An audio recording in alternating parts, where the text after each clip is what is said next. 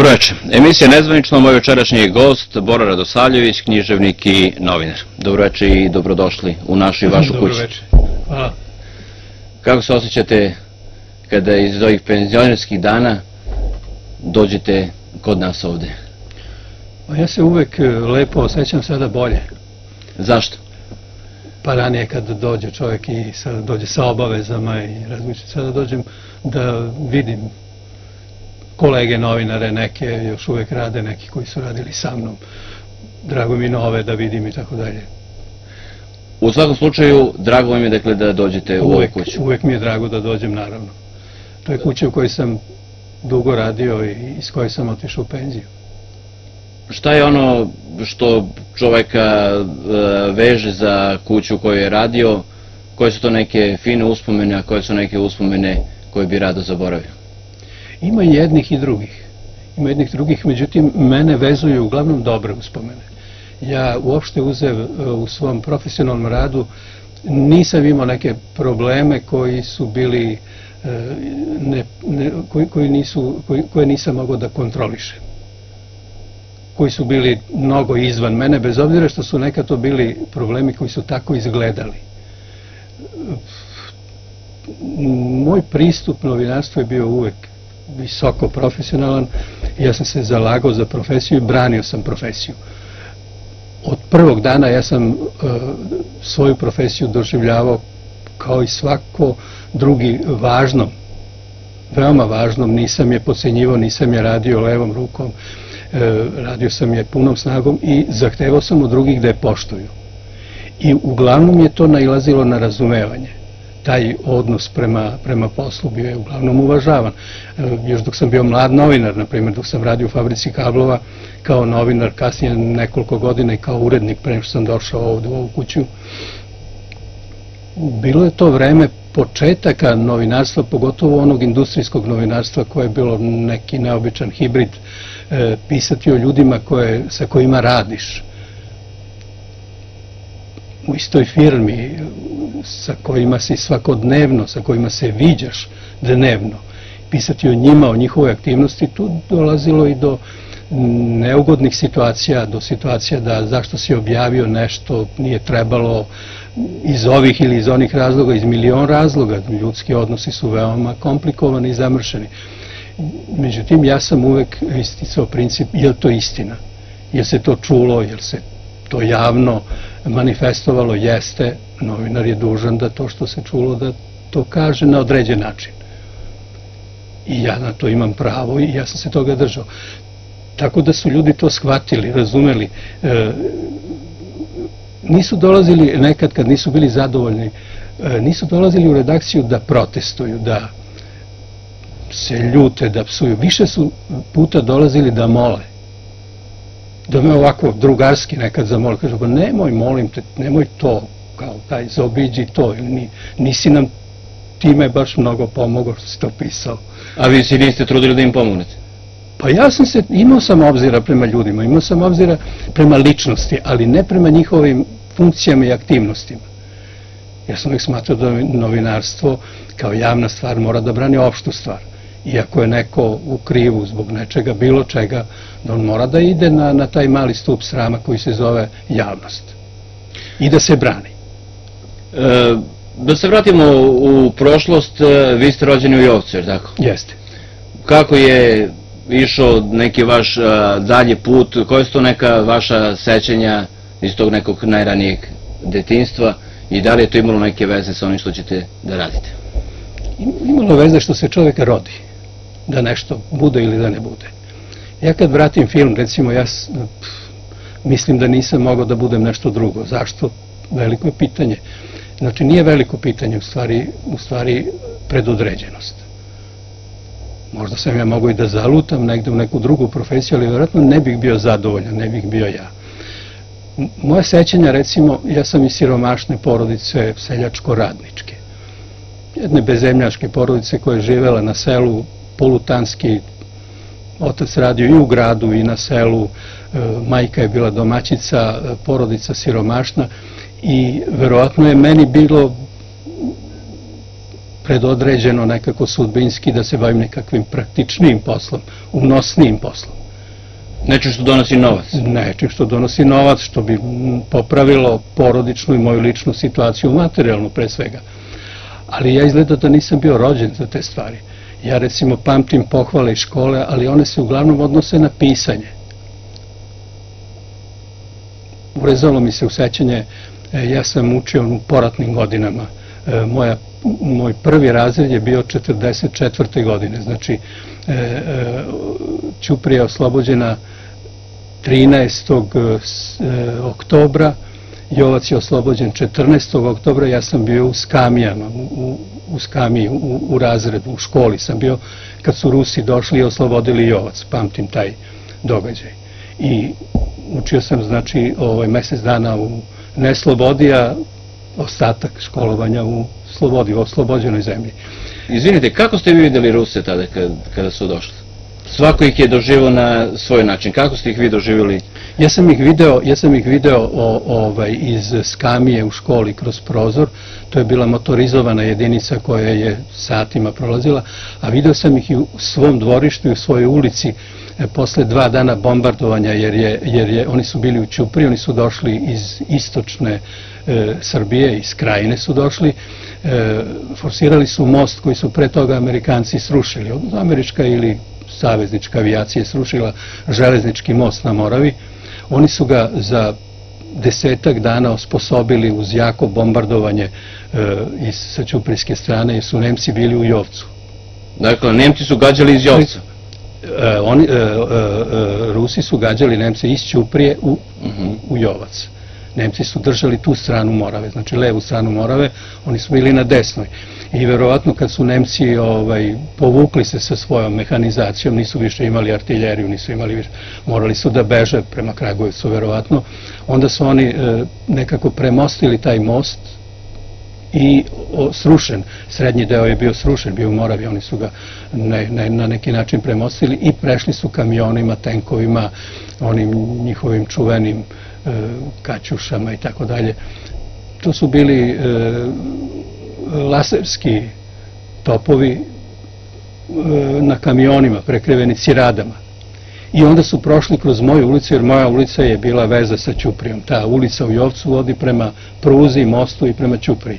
I tu su uglavnom cela, ovaj, kad je prošla ta mehanizacija, onda su došli, došli su i pešadinci I ja se sećam recimo jednog voda koji je prošao kroz moje dvorište, moj otac je bio oduševljen, ovaj, došla je sloboda, on je imao velike peripetije za vreme rata.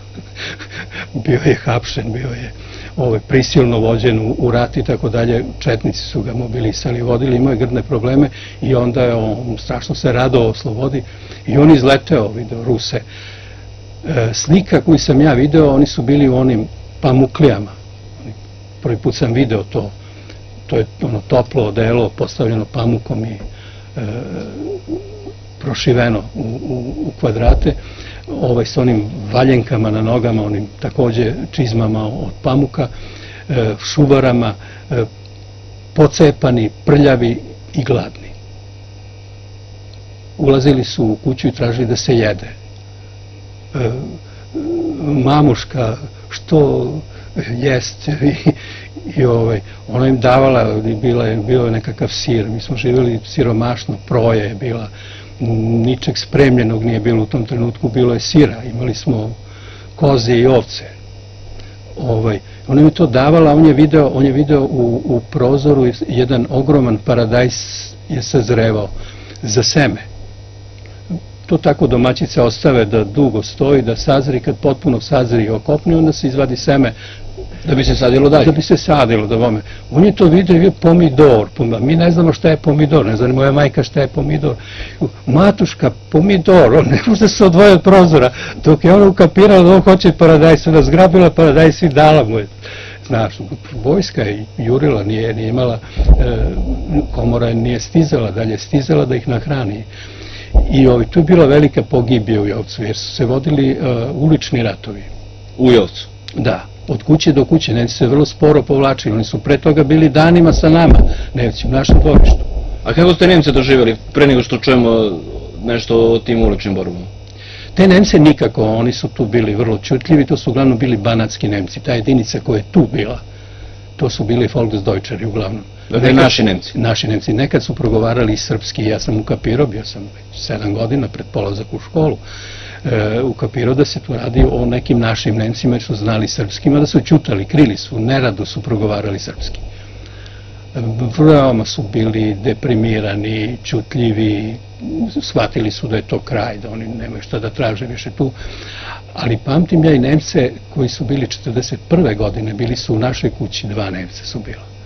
E, pre nego što su otišli na ruski front i zamenili su ih Bugari. Mi smo okupirani bili od strane Bugara, cela Moravska dolina. A Nemci su bili samo od e, leta 41 do, do ranog proleća 42. Prezimeli su u našoj kući dva Nemca. E, oba su bila radnici, jedan od njih je bio komunista. Mrzeli su Hitlera. Ja pamtim te beskrajne njihove razgovore i psovke sa mojim ocem koji nije znao nemački, ali je malo razumeo, nešto je natucao, bio je radio je, e, nešto je u, tako malo znao i, i ovaj, u, u kontaktu je nešto, nešto ovaj, se trudio da razume više, ali, ali ovaj, pamtim tu njihovu ljutnju kad se pomene Hitler, kad se pomenu fašisti, tako da nisu bili. Mrzeli su kapitaliste, recimo. Interesantno. Da. Su bili radnici, pravi radnici. Jedan je valjda bio stolar, ne znam šta je bio drugi. Dakle, tu su bili silom prilike, tako? Silom prilika, mobilisani i bili su očajni kad su polazili u proleće E, na ruski front jer su znali da je to pogibio, oni su imali nekakve informacije šta to znači. Ovde su oni ušli veoma lagodno, posle bombardovanja Beograda oni su promarširali do Makedonije i do Grčke, ali ruski front je bio nešto drugo. Kažete da je otac imao problema sa četnicima. Da li to znači da je bio komunista, simpatizer ili ga ništa ne interesuje? On je kao siromašan čovek i radnik bio simpatizer. A e, moj brat od tetke je bio u partizanima rano je otišao u partizane, ne odmah, ali Ćuprija je imala nekakvu organizaciju koja je ovaj, radila na terenu i te mlade ljude siromašnije vrbovala i slala u rasinjski odred. I su hvatali vezu negde dole na jugu, jer na jugu partizani su bili za sve vreme rata zbog e, Bugara koji su tamo činili zlodela, onda su partizani se organizovali, nikad nisu prešli Bosnu. Naši jesu e, prešli Drinu, naši jesu e, na jugu nisu, već u Jastrepsu nisu. Rasinski odred se sve vreme borio sa četnicima tu oko Kruševca, do, do, negde do Prokuplja. A dole, dole takođe u, u Leskovcu, u Bujanovcu, u Vranju i tako dalje su bili partizani. I e, taj moj brat je bio, to se znalo da je on u partizanima i da moj otac naravno ne bi nikad otišao u Četnike da ratuje protiv svog sestrića. I onda su ga ovaj, namerno mobilisali, slali ga u, u, na Jastrebac, kao da se bori protiv, to su priče i cirkusi, šta je on tamo radio. Ovo, naravno nije hteo da puca u, u, partizane, o, ovaj, zamišljajući da je, da je tamo njegov sestrić. Potpuno razumljivo. Ovaj, ali zato ga nisu voleli, zato, zato su hteli da ga, da ga likvidiraju, dolazili su jedne noći da ga, da ga ovaj, ne, one crne trojke, to je bilo već pred kraj rata, da ga, da ga kolju. E, moju, moju jednu strinu su zaklali te noći, njega nisu uhvatili. Pobego je. Kako se to dešavalo? Dođu u kuću i traže? Da. Da. Četnici? Da, o, da dođu, dođu u kuću, o, ovaj, e, ako za, naravno ovaj, ukućane sabiju u jednu sobu, izvedu onoga koga žele da, da i likvidiraju ga negde u blizini, odvedu ga negde gde oni odaberu neko mesto izvan kuće. E, sa mojim ocem je bilo malo drugačije i, i ovaj, e, oni su poslali jednog čoveka koji je kao poverljiv bio, kao neutralan, da ga zove kao nešto, da razgovaraju pola noći. Jer su se bojali da ima oružje i da će pružiti otpor. A on je imao oružje verovatno su bili obavešteni, znači nisu se usudili da dođu direktno i da, da ovaj, pokažu svoju namjeru, nego su teli da budu lukavi, poslali su jednog seljaka koji je naravno bio poznat mom ocu i on je tako naivno i lukavo rekao zovu vas u, u ovaj, što da je bila opština, ne znam kako su se zvale te jedinice vlasti koji su bile u selu e, ovaj, na razgovor. Nešto imaju sa tobom da pričaju i on je ukapirao da, je, da, da se radi o ne, ne, nekoj podvali i ovaj, e, oterao čoveka i pobegao. I ujutro je saznao o čemu se radi, te, te noći je bio pokoj. U Jovcu? Da. Koliko ljudi stradalo tada? Mm, Ja ne znam tačno, ali, ali ovaj, posle rata su bile suđenja. Ovaj, ja sam bio tada mali i nisam baš vodio evidenciju, znam da je moja strina je tada stradala, verovatno dvoje ili troje. A zašto su ljudi stradali? Eto, strina ona nije nosila oružje, jer tako. To je dakle bilo iz kog razloga? ona je bila lepa žena. Lepa žena. Da, neko je bio zaljubljen u nju. Zbog toga je stradala. Da, Dakle, neko, nekog je odbila i zbog toga je stradala, je tako? tako. Iz osvete je tužio. Da, da, da se švalerisala sa bugarima. Ona imala petoro dece. I išla u polje da bere travu. Mislim, i neko je, neko je ovaj napakovo tako. Da, da, da ona kao nemoralna i ovaj, oni su imali fiks ideju, kod Četnika je to prolazilo, oni su imali fiks ideju da spasavaju srpski moral. Mhm. Da nemoralne ljude ovaj, Treba da eliminišu, da eliminišu. Da, Pa je bilo ono, ne sme niko ne Da znam da ste uzme novčanik, pa ne sme ovo, pa ne sme ono. Da, da, da, da, da, dobro, mislim u redu je, u redu je jedan napor da, da se to radi, ali ne da se kolje narod.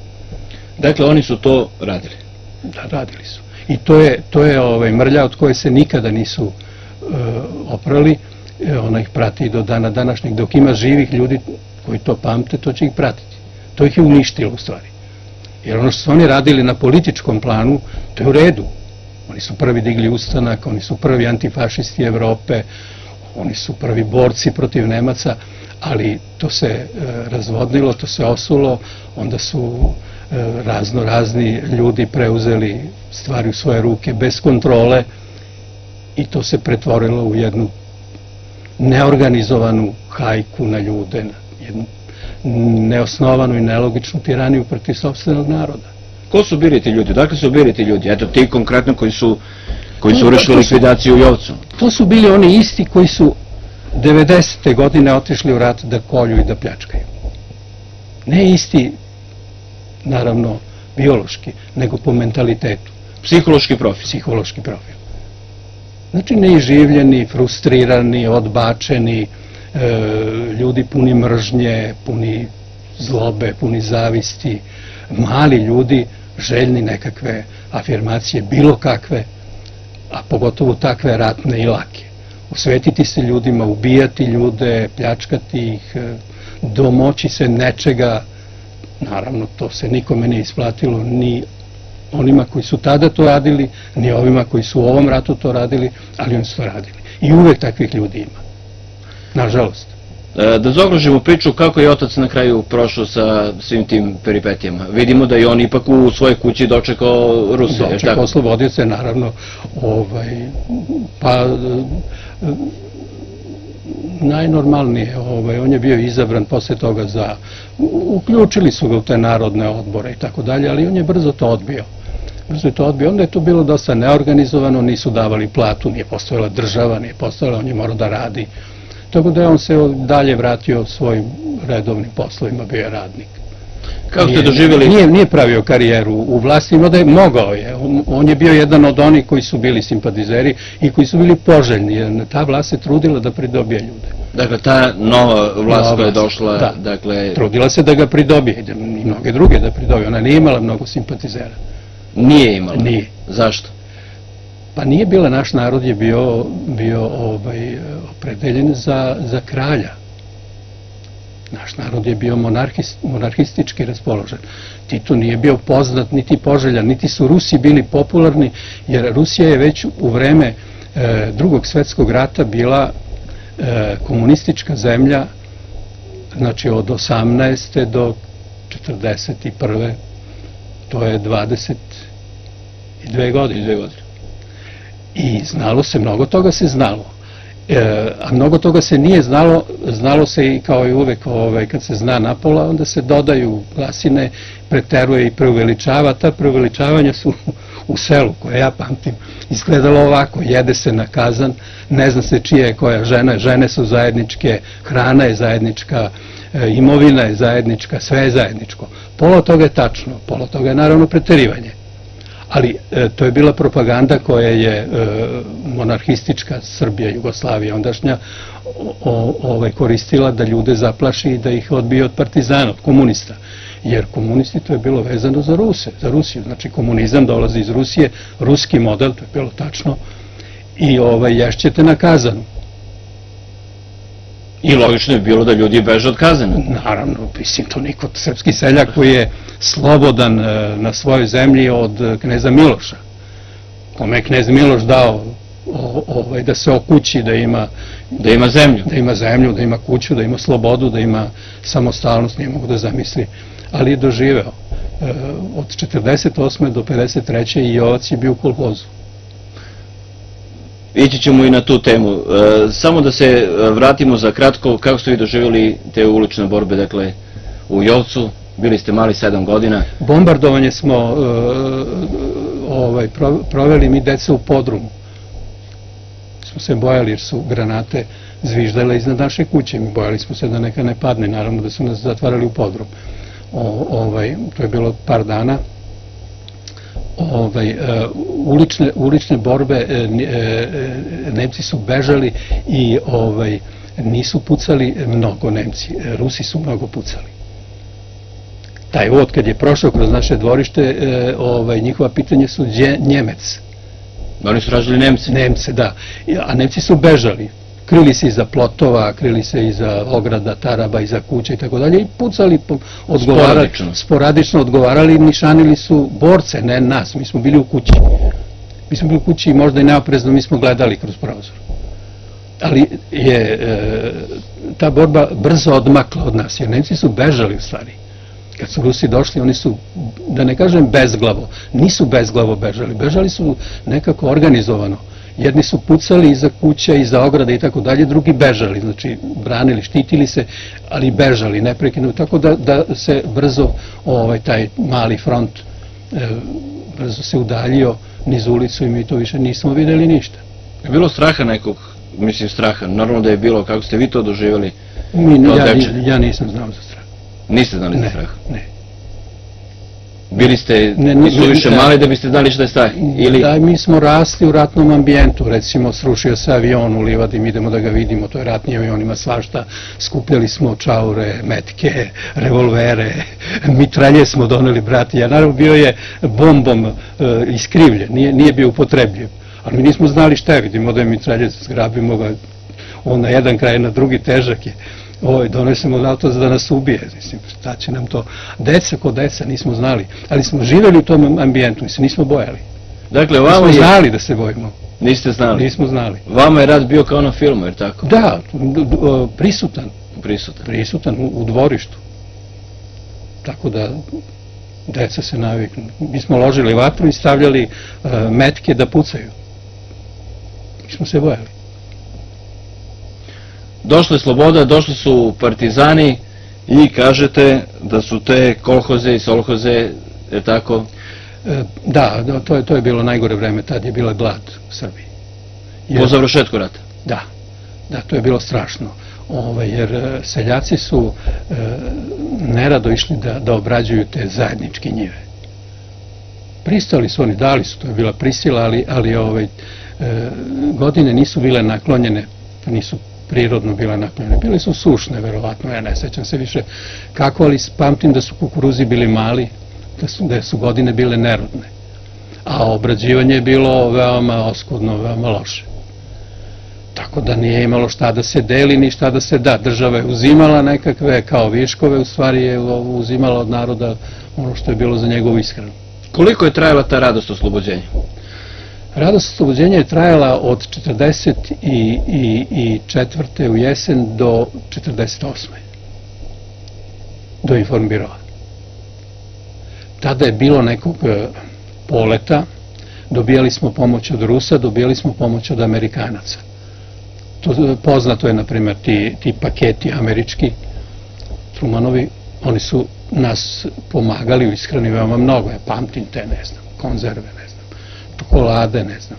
Svašta je bilo u tim. To ste dakle vi dobili kao selsko domaćinstvo i svako domaćinstvo u Jugoslaviji?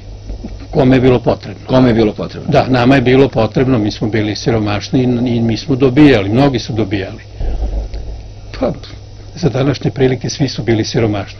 Sa današnje tačke gledišta svi su dobijali. Vjerojatno da nisu svi dobijali. Ja ne znam, ja pamtim da smo mi dobijali. I, i ovaj, e, to je trajalo do 48. a onda je naišao informirao, onda je naišla velika pometnja, prisila, e,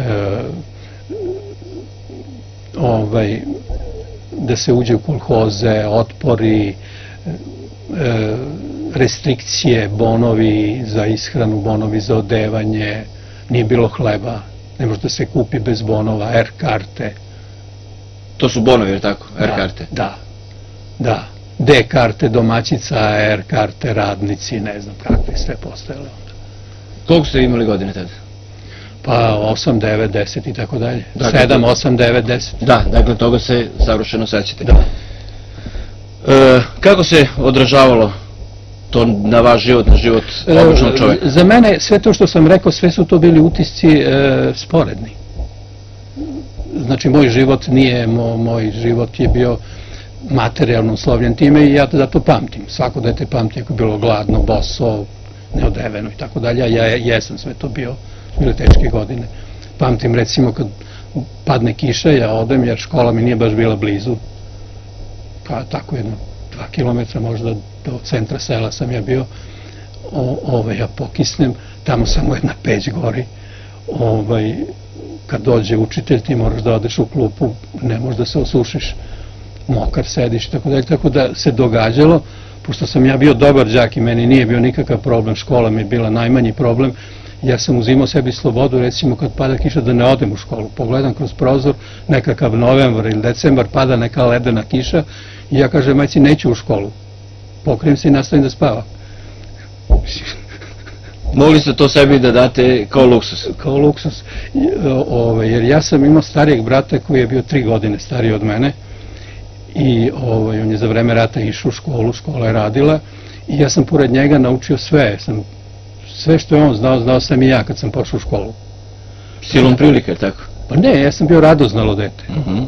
Mene to zanimalo, onoj čamotinji, nije bilo radija, nije bilo televizije, nije bilo filmova, samo knjige su bile i njih nije bilo mnogo, to što je bilo dostupno mene je zanimalo. To što je on radio, ja sam volao da i ja znam. Tako da sam vrlo brzo naučio slova, sad sa četiri i po godine sam naučio sva slova i počeo da čitam. Tako da sam ja to sve čitao, sve znao, mislim, kao mator i kad sam pošao u školu, meni to sve bilo igra. Već viđeno. Pa da. igra već viđeno, da, nisam se mnogo ja tu štrecao. I eto, jedino pomenuo sam to kao početak ovog, ovog sećanja i razgovora, pomenuo sam da ja pamtim da su me hvalili kao neko ko zna da piše, recimo.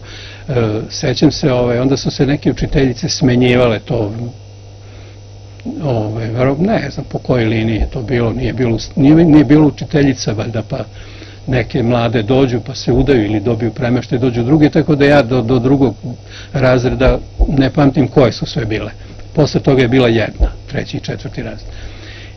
I sećam se da, da, da nam je jedna učiteljica, od tih koja ja ne mogu da upamtim, nikako se zovu, ovaj, dala zadatak da napišemo pismo nekom svom pismu, da deca imali smo ona đačka pera i mastila i ovaj da pišem. Kaže, ajde su napišite kao pismo nekome koga imate, a nije sa vama. A ja sam imao brata, tog brata partizana koji je tada bio u, u, u Petrogradu, odnosno Lenjingradu, već tada u Lenjingradu, ovaj, u Vojnoj akademiji.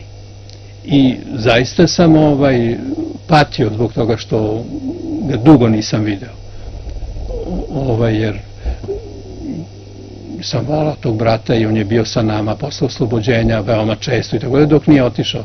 Dakle, bili ste vezani? Škoba. Mnogo smo bili vezani, ta braća od tetke i oni su bili veoma siromašni i vezani za nas. Vezani za nas. Ovo, I ja sednem i napišem njemu pismo. Ja imam njega daleko ja napišem njemu pismo. Ovaj, I sad ja sam tu pisao šta sam pisao. Se setim šta sam sve pisao. Sećam se da sam mu zamerio što mi je obećao da dođe kad je berba grožđe, da pijemo slatko vino, ali nije održao obećanje. Toga se sećam. Ovaj, to sam mu kao je u pismu zamerio. I ta učiteljica kad je pročitala to pismo, ona je zgrabila, to je onako ispunjen jedan list vežbanke. Od, malo dete, od početka do kraja sam ja to ispisao i to je bio kraj, to neko malo pismo. Ovaj, ona je zgrabila taj list kad je onako na brzinu to pročitala i išla je kroz učionicu i držala ono i, i, i ovaj, vikala, pa gledajte ovo čudo, mislim, kako je ovo dete mogo da napiše. Znači, onda mi je dala jednu peticu preko cele vežbanke, ovako kao da istakne da je to nešto mnogo dobro. I eto, to se meni urezalo u sećanje, ja nisam imao odnos prema tome, da li nešto znam ili ja sam sve znao. Znao sam i račun, znao sam i, i da pišem, znao sam da čitam, znao sam ono što se tražilo od mene. I sad nisam i nikakav odnos imao prema tome ali eto to se urezalo da ja sad nešto posebno bolje znam da pišem od nego drugi. Nego drugi. To se nastavilo posle u gimnaziji. Naša gimnazija je bila, ja sam u Ćupri učio gimnaziju, ona je bila od prvog do, do, do osmog, ne od četvrtog do osmog, kao kasnije. Kad su osmogodišnje škole formirane, onda je gimnazija počela se računa kao srednja škola, četvrti, osmi. Ja sam pošao prvi gimnazije i imao sam 11 godina. Kad sam počeo da putujem iz Jovca u Ćupriju i kad dođe zima, onda sam stanovao kod te moje tetke, gde je bilo tesno, ali su me prihvatali, jer su i ja morao i oni morali, da spavam sa nekim od te moje braće, da se da prođe zima, a onda u leto ponovo, ponovo ideš peške. Ovaj, i, i takođe mi se to događalo i u gimnaziji. I onda se to urezalo i, i ovaj, verovatno ta sposobnost je dolazila do izražaja ja sam rano postao nekakav kao pesnik, počeo sam da pišem pesme. Mnoga deca počinju u srednjoj školi da pišu pesme. Ovaj, ali ja nisam volao da se mnogi su voleli da, da, da, ovaj, da, da, da se to zna, da se čuje, da se time hvale, da time. Ja sam se stideo toga. Zašto? Pa ne znam, to su bila osjećanja koje nisam volao da pokazujem. O čemu ste to pisali? to su, to su bile neke, neke emocije koje su tražile reči, koje su tražile da se iskažu. E, teskoba, ljubav, e, sumnje, tražilo je da se, da se ovaj, e,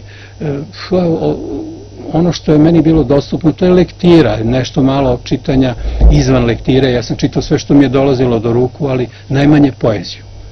Su to bile prozne stvari. I ovaj, Tako da e, nisam, nisam volao da, da se zna, da se to čuje, da bilo je onda ovaj, nekakvi kao knjiženik večeri profesori su voleli da to saznaju, to neko nešto radi, pa da to istaknu i tako dalje. Ja sam to krio, nisam hteo. Ali e, negde kad sam bio u, u, u već ne znam, u osmom, sedmom, osmom razredu, onda me je provociralo da ja vidim šta piše. Uh mhm. -huh da pokušam da saznam da li to nešto sad da li to ja umem, vredi, da, li ja, da, to, ja to umem ili ne umem. Ja sam pisao to tako, mislim, pune sveske toga. I onda sam pokušavao da, ovaj, da pošaljem to nekome. I sad odem tamo, moj brat je u to vreme bio, ovaj, napustio je vojsku i radio je kao neki činovnik. E, ovaj, ja popodne odem kod njega, imao je neku pisaću mašinu, ja na toj mašini nešto otkucam i pošaljem, onda je bio list omladina. E, on mi je vjerojatno bio dostupan, ja nisam znao za druge. I on je povremeno objavljivo poeziju. Ja pošaljem jednom ništa.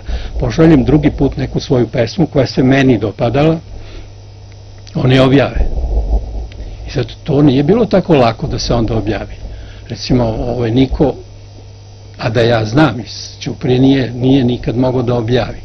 A mnogi su pisali, ali Ovaj, ali meni su objavili. Dakle, to je moralo da se prođe ono što bi se reklo sito i rešeto, je tako? Da, da, ovaj, to je bio jugoslovenski list, nisu oni tako lako objavljivali. Znači, nekome se to jako dopalo i ta pesma, ja ne znam tu pesmu, niti imam, ja sam izgubio, sećam se samo naslova, zvalo se Ljubav na periferiji.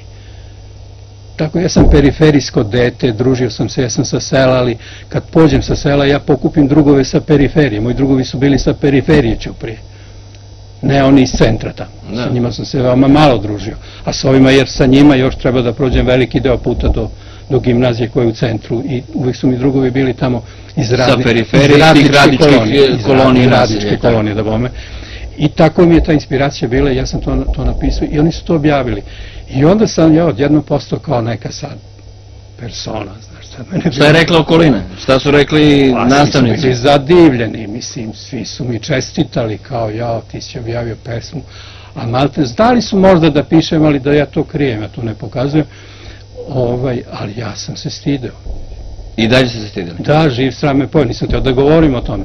I sad dođe nastavnica nemačkog jezika, pokojna Elza Đulić, Nemica inače. Elza. Elza Nemica, e, ovaj, udata za, za Srbina, Dimitrija Đulića, Ćupričanina, koji je predao takođe nemački, ali ona je bila Nemica, on Srbin. Koja me mnogo volela i, i ovaj, i dođe na čas i kaže mi, ovaj, Borislave, o, ovaj, ti sedi sada i prepiši mi ovu pesmu. I da mi iz novine pesmu da je ja prepišem. Aj, lepo mi to prepiši. I Tu vašu pesmu. moju pesmu, da je prepišem za uspomenu da ona mi sad na času dok deca rade, ja prepisujem pesmu, mene to sramota, ja prepišem i naravno ne potpišem se. Prepiši, ja sam bukvalno uradio ono što ona traži. Prepiši i ne dire ništa. Je odnesem. Ona kaže, a potpis? Kažem, zašto? Potpiši, to je meni za uspomenu. Dakle, ona je, i ona je u vama, dakle, prepoznala nekoga kome pisane reči ide u ruke. I, I sad, e, kad, se, kad je trebalo da ja ovaj, upišem fakultet, To, izvinite, imali ste, dakle, koliko, 11 godina, je tako? kad sam krenuo, ne, Ka- ne, koliko ste imali godina kada mi je objavljena, ne, ne, bio sam osmi gimnazije. dakle, osmi gimnazije. To ste već bili, Zreo, kad sam već tražio proveru. Dok sam bio 11 godina, nisam ništa pisao, počeo sam negde uh, u petom gimnazije, recimo, da pišem. Dotle sam možda pisao nešto što nisam smatrao pesmama, ali prave pesme sam počeo u višoj gimnaziji. Znaš ono, kad prođeš pubertet, pa Da. te hvataju sad neke, neka filozofska razmišljenja, kad umeš već da misliš, kad si na neki način misliš da si zreo. da, Slabo. poznaješ svet. Spoznaš sve, da, to je period kad se počinje, kad mnogi počinju da, da pišu, tako sam i ja. I tada sam objavio, to je već bio osmi, sam bio momak, ja sam ubrzo posle toga sam završio gimnaziju. Ovaj, I šta dalje? I trebalo da odem na fakultet. I ja sam znao da ću studirati nekakvu književnost. Ali nisam e, imao novca da, da ovaj, krenem te godine. Kada ste trebali da se upišete? Da, moji roditelji za nesreću nisu imali novac. I onda se događa nešto neobično. Ja rešim da upišem ekonomiju, to mi je bilo najlakše, ovaj, da bih odložio vojsku, jer, jer ovaj, drugog opravdanja za vojsku nije bilo, onda je bilo to dosta strogo. Ako ne ideš na fakultet, onda ideš kao mlad regrut pravo u vojsku i služiš valjda dve godine, ne znam, dve godine. Sa srednjom školom se služilo dve godine. Ovo je, to je za mene bila katastrofa, inače vojsku nikad nisam voleo, a dve godine pogotovo. Previše. Da, i onda sam išao da, da upišem ekonomiju, upisao sam ekonomiju i molio jednog mog zemljaka, jedan je ovčan i studirao ekonomiju, je ovaj, e, već ne znam, na trećoj godini možda, da ide na predvojničku obuku jer je jedino ona bila obavezna sa prozivkom, a sve ostalo je bilo neobavezno. Ne, nisi morao da ideš na predavanja, davali su potpise na blanku. Odnese neko indeks profesorom, potpiše i ovaj, da bih odložio vojsku. Ja sam sad potvrdom odložio vojsku, taj zemljak me i psovao kad sam rekao da neću ekonomiju da studiram, da je on džabe išao Na predvojničku. dana na predvojničku, a šta da radim? Ovaj, umeđu vremenu me posetio jedan moj drug sa kojim sam bio u klupi u petom mom gimnaziji, znači prvom gimnazije. Sadašnje generacije to znaju kao prvi gimnazij, prvi srednje škole. On je došao iz Kragovica po kazni, roditelji su ga kaznili jer je bio ovaj, slab đak, družio se sa lošim momcima i, i nije hteo da uči i oni ga pošalju u Ćupriju jer Ćuprija imala internat za rudarsku decu je uvek imala. Mislim da i sada je, ima taj internat je za talente Za muzičke za talente. muzičke talente, da.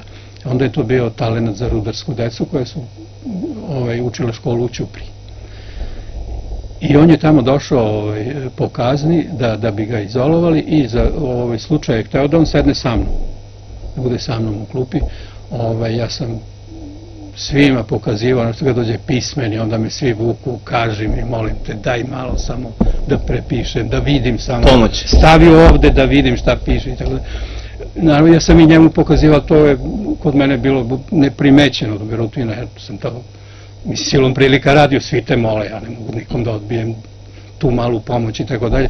Pa sam i njemu pomagao i posle časova kad mu je trebalo nešto i tako dalje. Bio je dobar dečko, mislim, družili smo se veoma lepo, bio je vrlo, vrlo fin je bio. Ovaj, on je posle toga otišao u Zemun, roditelji su mu valjda otišli da dobili posao tamo, on je upisao Zemunsku gimnaziju, završio gimnaziju u Zemunu i upisao pravni fakultet. U Beogradu, tako? U Beogradu. I ovaj, moja generacija kad je otišla da studira, naši ovaj, iz odeljenja, neki su studirali pravo, mislim, troje ili četvoro. I on ih je tamo video, prepoznali su se i pitao za mene. I on kažu, Bora je u selu, u Jovcu. Šta traži tamo? Je završio školu, završio. Što ne studira? Kaže, nema pare. Kako nema pare? I čovjek dođe u selu. Novembar, kraj novembra je bio jednog jutra ja vidim ide kroz onu raskaljenu moju ulicu ide čovjek dolaz, mlad neki čovjek ide, ne znam ko je, ne mogu da ga poznam. Ti kad došao na ovom pita, znaš, komšije mu kažu i jo vidim, ovaj ulazi na kapiju, ja ga prepoznam, to je onaj koji je bio sa mnom u petom gimnaziji. Otkud ti? Da, otkud ti? On kaže, ja došao po tebe da te vodim u Beograd. Sad je on imao fiks ideju da ja upišem pravo i da studiramo zajedno, jer zna da sam ja dobar džak i će njemu biti to lakše. Mislim, znaš, on je, on, je, on je tu godinu završio sa vrlo dobrim uspehom, bez problema, e, o, ja sam mu bio kao ovaj, na neki način jedan dobar oslonac i on je uhvatio zalet tu i tako završio kasnije gimnaziju bez problema. Jednostavno, on vas je video kao oslonac, je tako? I on je i dalje video, verovatno, kao dobrog druga koji će mu biti od velike koristi. A ja nisam teo pravni fakultet ja mu kažem, ovaj, Krco, ja ovaj, hoću da dođem u Beograd iduće godine u svakom slučaju i studirat ću, ali ne prava. On pristoji da ne bude prava, ali ne mogu da upišem ja sada, mislim, prošlo je vreme, to je već novembar, ja ne mogu ništa. On bi mi kao pravo upisao, sa ekonomije bih mogao da pređem na prava, to je kom, kom, ovaj, kom, kom, kompatibilno. kompatibilno i to bi moglo, ali ja nisam hteo. I tako je to ostalo da se mi vidimo idućeg septembra, a umeđu vremenu ovaj, Jovac je imao tada opštinu. To su bile male opštine i to je svuda bilo, sva, sva veća sela su bila opštine, tako, tako je bila neka organizacija i ovaj, pošto se to znalo u Jovcu da ja nisam otešao na fakultet i nemam para, neko je verovatno i sažaljenja rekao da izovi onog dečka malo da radi kod nas ovde, da prima platu, da malo zaradi. I tamo je falio jedan knjigovođe, nekakav porezki knjigovođe je falio da sređuje one kartice, da izvodi ovaj, E, salda, da koliko duguje porez i tako dalje, da se to zna, jer se to vodilo po mesecima, pa treba sabirati po godinama, to bilo malo zaostalo. I pozovu me jednog dana, bila je vanda zima, već neki decembar mesec, da ja radim tamo i ja naravno pristanem i radio sam do proleća i Boga mi dobro sam zaradio, bili su to prilično dobre plate. I ja tako sa tim parama koje sam uštedeo, kupim nešto osnovno, odem na fakultet, dočeka me moj drug, odvede me u studentski grad da i legališem kod njega. ovaj, ja odem na, na, ovaj, na, na moju katedru, na, na, tamo na, na ovaj fakultet gde, gde je književnost, gde, gde su grupe za književnost, to je bilo u onom zdanju gde, gde univerzitetskom zdanju Miša Anastasijevića. U holu su bile istaknute, tamo je bio filološki. Sve grupe filološkog su i na tabli bili istaknuti programi. I odem da čitam programe i ovaj, zalepim se za, za književnost, naravno čitam srpski jezik e, sa književnošću, književnost sa srpskim, ono, svetska. Pogledam svetsku, program, prva godina, druga, treća, četvrta, to je ono za mene, nema drugi. To je pravo. To je pravo. Ja odem na svetsku, upišem se i ovaj, posle jedno mesec dana konkurs za stipendije ja moram da dobijem stipendiju, ne mogu sada ja da... Ovaj, ne može drugačije, tako? Ne može drugačije, ako ne dobijem stipendiju, nema me. Vraćate se nazad u selo? Pa ne znam šta bih radio, mučio bih se, radio bih preko zadruge, ovaj, taj moj drugi bio tako nekako vrlo praktičan, vrlo probojan, sve je znao, već imaju društvo u Zemunu, sve su oni kapirali, sve su znali, ja ništa nisam znali preko njega. Dakle, on je shvatio život u velikom gradu. On je, da, on je već sve znao, on je sve to kapirao i on me podučavao i vodio. Znali smo i da je zadruga i dobijali smo poslove kasnije, ali naporno je raditi, pogotovo kad pođe godina i učenja i predavanja. Možeš raditi preko leta, dok ne počne školska godina, posle ne. Stipendija je morala da bude. I ja odem, dam dokumente za stipendiju i meni ona tetkica, kako smo mi zvali, činovnica koja je radila na šalteru, kaže mi, dete, za tvoju grupu nema stipendije. to je vanškolska grupa. Piši srpski jezik ili istoriju, dajemo stipendije za to. Ja zanevim. Kažem, nemojte, molim vas, kažem, kakav srpski jezik, kakva istorija. Ja sam došao ovde da studiram svetsku književnost. Isključivo. Isključuje, ja to moram da učim, a stipendiju moram da dobijem. Kaže, kako? Kažem, to vi morate da rešite. Kako znate? Ja sam siromašan, ja nemam ništa. Bez stipendije ne mogu ja da obstanem ovde. Molim vas, nešto uradite. Smislite nešto. Ja, sine, šta da radim? Tobom. Kažem, ja ću svaki dan da dođem da vas pitam. Molim vas. Ništa, očutala je ona i ja svakog dana bio je red tamo. Hodnici su široki u tom znanju, pa su kabine na, stavljene u hodnike, ovaj, tako šalteri neki. I ove staklene i, i ove činovnice koje tu rade vide se. I sad uvek tu traže neke potvrde, prijava, odjava, znaš već kako Uvek to ima ide. nekog posla. Pa uvek tu redovi i ja čekam u redu strpljivo dok me ne vidi tetkica, dok ne dođem na jedno 4-5 metara da me ona vidi i ona me vidi kroz prozor i kaže mi ovako, ja onda odem. Sutra opet ja u neko vreme kad sam slobodan, kad negde imam pauzu, podne recimo kad je između jutarnjih i popodnevnih predavanja, nađem vreme, ja dođem da čekam u redu da vidim tetkicu i ona mi kaže ne, ja se vratim. I tako je to prolazilo vreme, ja ne znam koliko, možda nedelju, možda dve nedelje i ona mi jednog dana kaže da dođem okolo gde su njena vrata, da uđem na vrata. Kaže, dobio si stipendiju, potpisuj ovde. Kako? Kako? I ni danas ne znam. Nije vam rekla kako. Nije mi rekla, ja sam sa tom stipendijom završio fakultet, ja ne znam kako. Nije to bila velika stipendija, to je bila stipendija koja je pokrivala one osnovne troškove. Ono, studentski grad, studentski dom, ovaj, ja sam uglavnom bio u studentskom gradu, studentski dom, menzu i, i prevoz. To je pokrio i ostane nešto za neki bioskop. Jedan, dva. Ovaj, ali mi smo radili, zarađivali smo. Šta ste radili? Radili smo preko studentskih zadruge, svašta smo radili. Radili smo i fizičke poslove, radili smo i divne poslove. Recimo, ja sam bio jedan od e, organizatora e, dokumentarnog filma koji se i dan danas održava. Onda je bio u domu sindikata, ne znam danas gde se održava, gde mu je. Ovaj, znaš da svakog proleća e, festival, svetski festival dokumentarnog filma. Da. Onda je to bio jugoslovenski pa je polako posle prerastao u međunarodni. Ovo i tu su trebali studenti kao potrčkala, mislim da raznose pozive, da sređuju taj materijal, da, da se bave tim festival, ko svaki festival ima neke neke potrebe i ja sam tu radio i to su uvek lepo plaćalo. Onda izložbe, ovaj, dežurali smo na izložbama, to je bila divna, div, div- divan novac.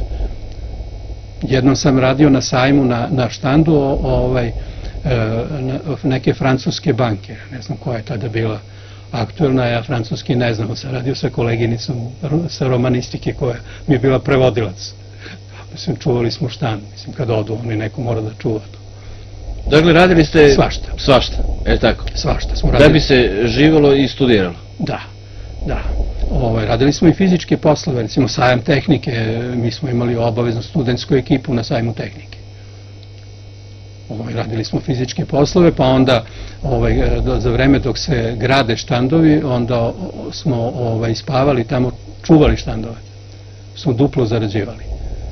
Prepodne radimo, ovaj, dolaze kamioni sa mašinama, to se istovaruje, ređa tamo gde treba, a onda popodne te iste mašine i štandove koji su dorađeni ili nedorađeni, to su oni tisoni, ne znam, paneli i tako dalje, onda neko ne pokrade da se čuvalo, onda mi tu ostanemo i spavamo na tisonima, čuvamo, Dakle, dupla zarada. dupla zarada, da. Dakle, to je neko smislio da bi kažem neko, naravno država, da bi na neki način, dakle, studenti Pomagali mogli, studentima, da. mogli da I, i svi studiraju i da žive. I svi su bili jako blagonakloni prema nama i voleli su nas ti ljudi koji su ovaj, nas primali i ovaj, gde smo radili, su bili tako sredovečni ljudi koji vjerojatno i sami imaju decu, pa onda možda i studente i tako dalje. Radili koliko radili, novac je išao, nismo mi uvek mnogo tu ni zapinjali i tako dalje, ali smo radili. Da li to znači da je ta država kakva je bila i već to vi znate, da li to znači da je ona mislila o, o, o, svojim, o svojim mozgovima, Da. o svojoj mladosti, o svojoj budućnosti? Da, o, ovaj, e, e, veoma mnogo, e, mnogo više nego sada i sada ću ti reći nešto e, kratko. Ovaj, ta, država, ta država koja je bila stvorena razumom, znači sve te komunističke države, to su države razuma, to nisu prirodne države. Znači neko je, neko je e, smislio ceo taj režim, zamislio je plan i ostvario ga je u realnosti. Stvorio je tu državu. Ali ona se zasnivala na jednom neprihvatljivom, nemogućem principu društvene imovine. Znači, e, nije u prirodi čoveka da čuva nešto što nije njegovo. U prirodi čoveka čuva nešto što je njegovo i tu na toj klackalici ga treba uvek ovaj, držati da, da čuvajući svoje, čuva i društveno. Jer i tvoje je društveno. To je filozofski, ali i tačno. Ova zgrada u kojoj se mi nalazimo je pripadala nekim predratnim i tako dalje, ali, ali, ali oni, oni, oni ovaj, više nisu tu, mi koristimo, tu uvek neko koristi. Znači, mi nemamo drugo nego to što je izgrađeno, bilo privatno ili druž, bilo kako. Ali to, to, je, to treba e, tako i održavati. Komunisti, međutim, su hteli da nema to privatno. A to privatno je stimulans. Ti hoćeš da imaš, pa stvaraš, a to što stvaraš, to je na neki način i zajedničko i tvoje. Ne možeš ti sam da koristiš to. I e, ta država je onda tražila e, inteligencija da bude uz nju, da je brani. Ona je neprekidno tražila opravdanje za to. Dokaz da je ona u pravu. I inteligencija je bila povlašćena. Upravo iz tog razloga. Prvo iz tog razloga. Znači, sistemski povlašćena. E, recimo, najveći pisci koji su podržavali režim su imali kabinete u borbi, ne znam, u politici, u izdavačkim kućama, Nolit je osmišljen za njih bio, to je nova literatura, ovaj, tamo su oni bili urednici sa kabinetima, sa sekretaricama i tako dalje, ma kakvi današnji direktori su mali za njih, oni ništa nisu radili. Oni nisu bili urednici, oni su bili samo direktori. Drugi su bili urednici, drugi su radili, oni ništa. Dakle, oni su bili Primili za, ogromne tu, plate. za tu državu, jer tako? Oni su služili, oni su služili da brane tu državu, da dokazuju da je ona u pravu, da je društvena svojina jedini pravilan, jedini pošten, jedini demokratski, jedini e, ispravan sistem, a, a to nije bio ispravan sistem, oni koji su e, upravljali društvenom imovinom su bili u stvari despoti koji koriste društvenu imovinu. Ali e, feler e, tog sistema je bio što zaista nije to bilo njihovo. Znači, postojala je svest da to nije tvoje nego društveno. Ti samo imaš privilegiju kao funkcioner, kao držalac te imovine da je koristiš Više Ne- nego drugi, jer tako? neograničeno. Ili više nego drugi. Zavisi od stepena gde se nalaziš. Ali u svakom slučaju privilegovano. Ali nije tvoje. Znači, ako se neko pobuni i dokaže da nije tvoje, ako se nekakvi pametni ljudi organizuju, pa počnu da dokazuju, brzo će dokazati da ti nemaš prava na te privilegije. Znači, uvek sa njima budi dobrim odnosima, e, novinari, e, pisci, ljudi od pera, ljudi od inteligencije svake vrste, da budu uz režim. Oni su kupovani. Stalno. Privilegijama, novcem, jer tako? Svim što je moguće. Nekad im se pretilo, nekad, nekad ih e, hapsili, ali uvek blago. Uvek sa e, rezervnim planom. Budi dobar ili ne, ne budi dobar. Budi dobar, budi sa nama, imaš sve. Ako ne budeš sa nama, morat ćemo strogo da postupamo. Mhm. To strogo nikad nije bilo premnogo strogo. Uvek je imalo rezervnu varijantu, jednog dana ćeš možda biti naš. To je to.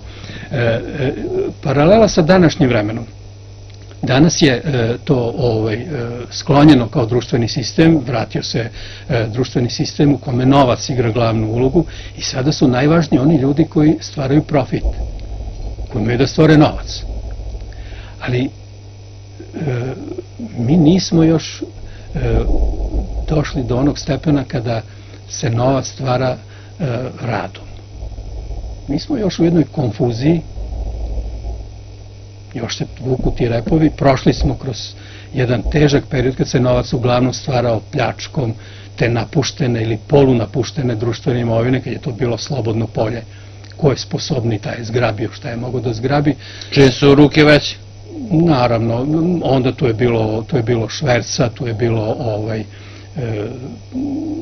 prodaje nelegalne robe, privilegovanog trgovanja, svačega je bilo na račun te države, sve to na račun države, sve to neko mora da plati, tu švercovanu robu, naduvane cene, sve to ovaj, na račun naroda koji je jako siromašio dok se oni bogatili. I e, to se nastavlja na neki način i danas. I to se odražava i na ovaj, potpuno negiranje intelektualnog sveta. Vratit ćemo se na negiranje intelektualnog sveta, zbog toga sam vas e, i pitao, dakle ta država takva kakva je bila, ona je poštovala i negovala taj intelektualni svet. Ona je izuzetno mnogo poštovala i to je, ona je imala svoj interes da to radi. Ali, e, s druge strane, ona nije ograničavala e, slobodu razmišljanja, pisanja i tako dalje, tako da smo mi bili u, u jednom smislu ovaj, danas, danas intelektualci vole da kažu ne dere partiju i Tita, sve ostalo je slobodno. Mislim, mi smo im uživali neobičnu slobodu, čak i za zapadni svet. Mi smo bili na neki način uzor upravo zbog toga. Jer u osnovi ti daš slobodu intelektualcima i više ih ne možeš držati na uzdi. Oni će voditi računa da ne dirnu ono što je tabu tema, što ono što znaju da ne smeju, ali sve oko toga je moglo da bude slobodno. I mi smo imali izuzetno velike slobode i u umetničkom stvaralaštvu i u filozofskom i u stvaralaštvu e, književnom i tako dalje. Što danas, danas možeš da budeš književni stvaralac, ovaj, ali satiričar već već imaš problem. Ili ozbiljan kritičar, već imaš problem. Već će neko da se javi. Možda neće država, ali će neko već da se javi. A kako se tada država ta, ta takva nakaradna, bezrazumna nije javljala? Ona je imala svoje sisteme, ona je imala svoje sisteme, ona je, ona je držala e, tabu teme, nisu smele da budu pokretane. Ostalo je smelo da se dira i ovaj, to je bio jedan, ipak jedan e, vrlo rašomonski sistem u kome je živelo mnogo intelektualnog sveta iz razne provenijencije, provenijencije e, bilo je profesora recimo predratnih pravnika, inženjera i tako dalje koji su vodili škole, vodili firme, vodili preduzeće i tako dalje, se nisu ni, ničim uklapali, sve onako jednim nemuštim pristankom da živim u tom režimu. I da se ne zameram sa najglavnim ljudima. Znači, ni u čemu se nisu slagali. Znači, Kada ste se vi sudrili sa režimom? Eto, ja da, sam morao da, da se... Ja sam morao da se sudarim sa režimom zbog toga što sam bio novinar i profesionalac. Dakle, to je vaš prvi sudar sa režimom? Ali e, nije bio odlučujući. Moj prvi e, ozbiljan sudar je sa tom malom knjigom koja stoji na stolu vreme kad smo žanili Pavla. Da se vratimo samo još kratko na te studentske dane. Završili ste fakultet, je tako? Da. I šta dalje? Završio sam fakultet i, i ovaj, dobio posao kroz nedelju dana u kulturnom centru Beograda. Molio me čovek da odem tamo da radim, jer je nas bilo vrlo malo. Da, to je nova grupa, ja kad sam upisao, to je bila četvrta generacija, studiralo se malo duže, to je dosta obimno gradivo, dosta teško za diplomiranje, eh, jer su tražili na diplomskom celokupno gradivo, celo knjiženo, svetska knjiženost, to je more ogromno u kome se čovjek veoma lako izgubi i tako da su prolongirali studije, tako da, da ovaj, ni sa starih godina nije bilo mnogo za diplomiranih studenta. Ja sam, zbog toga što sam bio vezan za stipendiju, za dom i tako dalje, žurio, e, nisam mnogo odugovlačio, već u januaru sam diplomirao, znači od juna do januara sam prolongirao pola godine i diplomirao. Ovaj, I ne znam, bio sam osmi ili deveti student koji je izašao tuda. Tako da to se odmah čulo, tražio me, međutim ja sam imao uh, ove frustracije od vojske. Ja sam da, teo da služim vojsku što pre, jer ako se zaposlim, uh, počnem da primam platu, postanem činovnik nekakav, o, ovaj, da živim nekim finijim životom nego što je studentski, ovo, ja neću podneti vojsku i vojnički kazan, mislim, to je meni delovalo kao zatvor, ko robija, nego ja sam računao da i studentske meze da odem na vojničku i da to prebrinem kad se vratim. A onda idem na ovu Onda ću videti šta ću da bome, onda sam bez brige. Jer tad nije bilo čuvanja radnih mesta. To je tek kasnije, možda 5, 6, 10 godina kasnije uvedeno kad odeš u vojsku, čekate radno mesto. Tada kad odeš u vojsku izgubio si radno mesto. I sad šta je meni značilo da budem godinu dana negde da radim, ovaj, a posle I nakon toga posle toga opet ništa. nemam ništa, nisam gde si bio nigde. Ovo, ja kažem ne, odbijem ja to i ovaj, dođem u Ćupriju gde mi je bio vojni odsek, da odem u vojsku, to je bio negde februar mesec. Ja sam završio, diplomirao u januarskom roku, početkom februara, neki datum u februaru, drugi, treći. I ja već u februaru dođem tu, oni kažu pa ne možeš da odeš sada u vojsku, mi smo tebe planirali za školu rezervnih oficira. Kažem, kad je to? Kaže, pa u septembru, koji svaka škola, mislim. Šta, februar, septembar, šta radim ja godinu dana?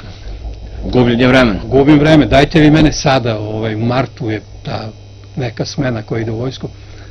On kaže, ali Mladiću, nemam gde sve je popunjeno. Kažem, kako je moguće, nemoguće da bude sva mesta popunjena. Pa kaže, imam derventu, eto. Češ u derventu? Kao meni sve jedno, mislim, derventa, Ljubljana, mislim, Vojska je vojska, ma gde je bila. pa prilep, nije važno. Kaže, hoćeš u derventu? U redu. Napiše on meni derventu i pošalje me. Ja sam putovao do dervente dva dana nekakvim stočnim vagonom iz Ćuprije. I kad sam došao tamo, shvatio sam zašto je on rekao, hoćeš u derventu, evo ti derventa.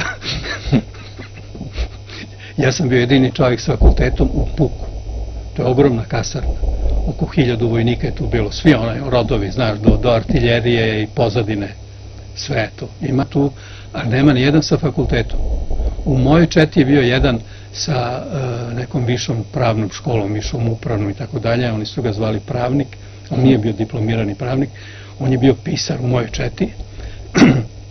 a on je bio najpismeniji. I mene tamo dočekala nekakva delegacija, jedan desetar i dva vojnika, da mi uzmu onaj drveni kufer. Ja kažem šta se, o čemu se tu radi?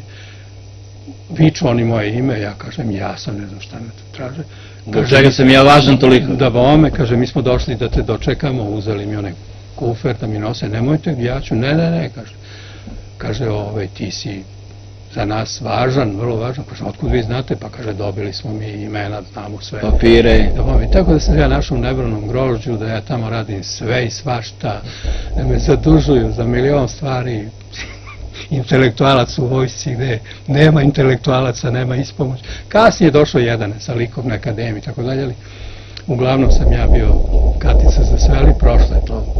U suštini, u suštini Da. isplatilo se. Nakon, Da. Dakle, nakon vojske ide zaposlenje, zaposlili ste se gde? Dođem u Beograd, zaposlenja nema, Tito je održao govor u Splitu, čuveni govor u kome je rekao da je ovaj, administracija kriva za slab napredak Jugoslavije, što radnici nemaju visoke plate, da se nagomilala administracija neradna i ovaj, e, koja živi na, na, na, Na račun radničke parazitski- klase. Na parazitski način, na račun radničke klase, da to re- treba čim prije likvidirati i smanjiti i gde god sam ja došao u Beograd, bezbroj tih domova kulture i tih raznoraznih institucija gde sam mogao da radim, svud su rekli, aman čoveče, nema mesta, mi otpuštamo i naše. Mislim, ne znamo šta ćemo da radimo, kao imamo viškove prema nekim planovima, ja sam se hvatao za glavu. Mislim, nema mesta. I onda dođem, dođemo ovaj, ovde e, u, selo i ovaj, da, da malo se odmorim i kažu mi idi u fabriku kablova, čujemo, traže nekog novinara.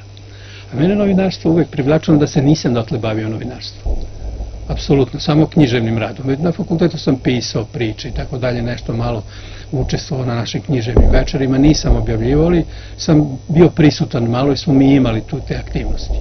Novinarstvo vam nije Novinarstvo bilo ni ne, ne, ne, u malom mozu. E, Volao sam novinarstvo, razmišljao o njemu, ali nisam se bavio konkretno, nisam imao prilike, niko me nije zvao, nikom, ni, ni, imao sam kolegu novinara, druga sam imao, no, išao sam u novosti sa njim, razgovarao, razgledao, video, ali nisam imao konkretnu ponudu da to radim. Niti sam znao da to radim. Nisam imao praksu nikakvu. Naravno, naučio bih verovatno, kao što sam i naučio, ali nije bilo prilike. Ovaj, tako da kad su rekli da, da traže novinara, to me je zagolicalo. Ja dođem u fabriku kablova, razgovaram sa njima, oni kažu, jeste, tačno, mi tražimo novinara, ali prema našoj sistematizaciji novinar je sa višom spremom, a vi imate visoku, prema tome ne dolazite u obzir. Ja zapanjem. Kažem, pa malo veća škola, neće valjda da na, na škodi novinarstvo. Ne, ne, ne, ne, ne, ne, ne dolazi ovdje. Mora striktno da bude. Propis je propis. Ja zapanjen, mislim, ne mogu da shvatim. Ja prihvatam da se potpišem, da pristajem da radim na, niž, na, na radnom mestu koje ima nižu stručnu spremu. Kaže, ne vredi. Ja odem sa pokisao i ovaj, ne znam ko, ne, kaže mi, idi ti u sindikat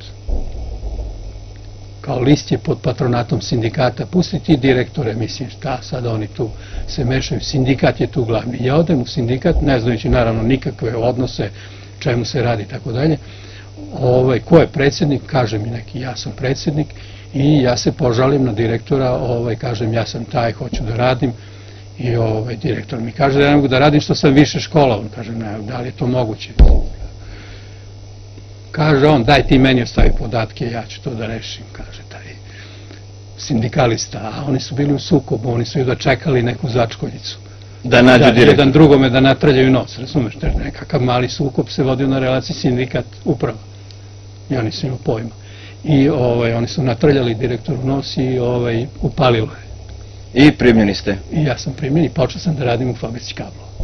Dakle, radili ste kao novinar, list? Stanova u Samačkoj zgradi, radio sam u list, u to vreme bio u dosta ovako birokratskoj formi, e, novinari se nisu potpisivali, e, radio je urednik koji je bio profesionalni novinar, Dragan Milošević, imao iskustva iz e, rudnika, uređivo je rudnički list, onda kad je počela fabrika kablova i otvorila svoj list, on je prešao tamo, postoje urednik. On je imao višu školu, ja sam tad saznao zašto nikako, ja nisam smeo da imam veća škola. Upravo zbog njega. Pa zbog njega, naravno. Živjeli ste, kažete, gde? U Samačkoj zgradi fabrike kablova na koloniji. Dobro. To ste dobili po zaposlenju, jer tako? Da, kad sam se zaposlio, to sam dobio, da. Ovaj, i e, e, e, radio je još jedan novinar koji je bio priučen novinar, imao je smisla za novinarstvo, nije imao školu, imao samo osmogodišnju školu i stenodaktilografski kurs.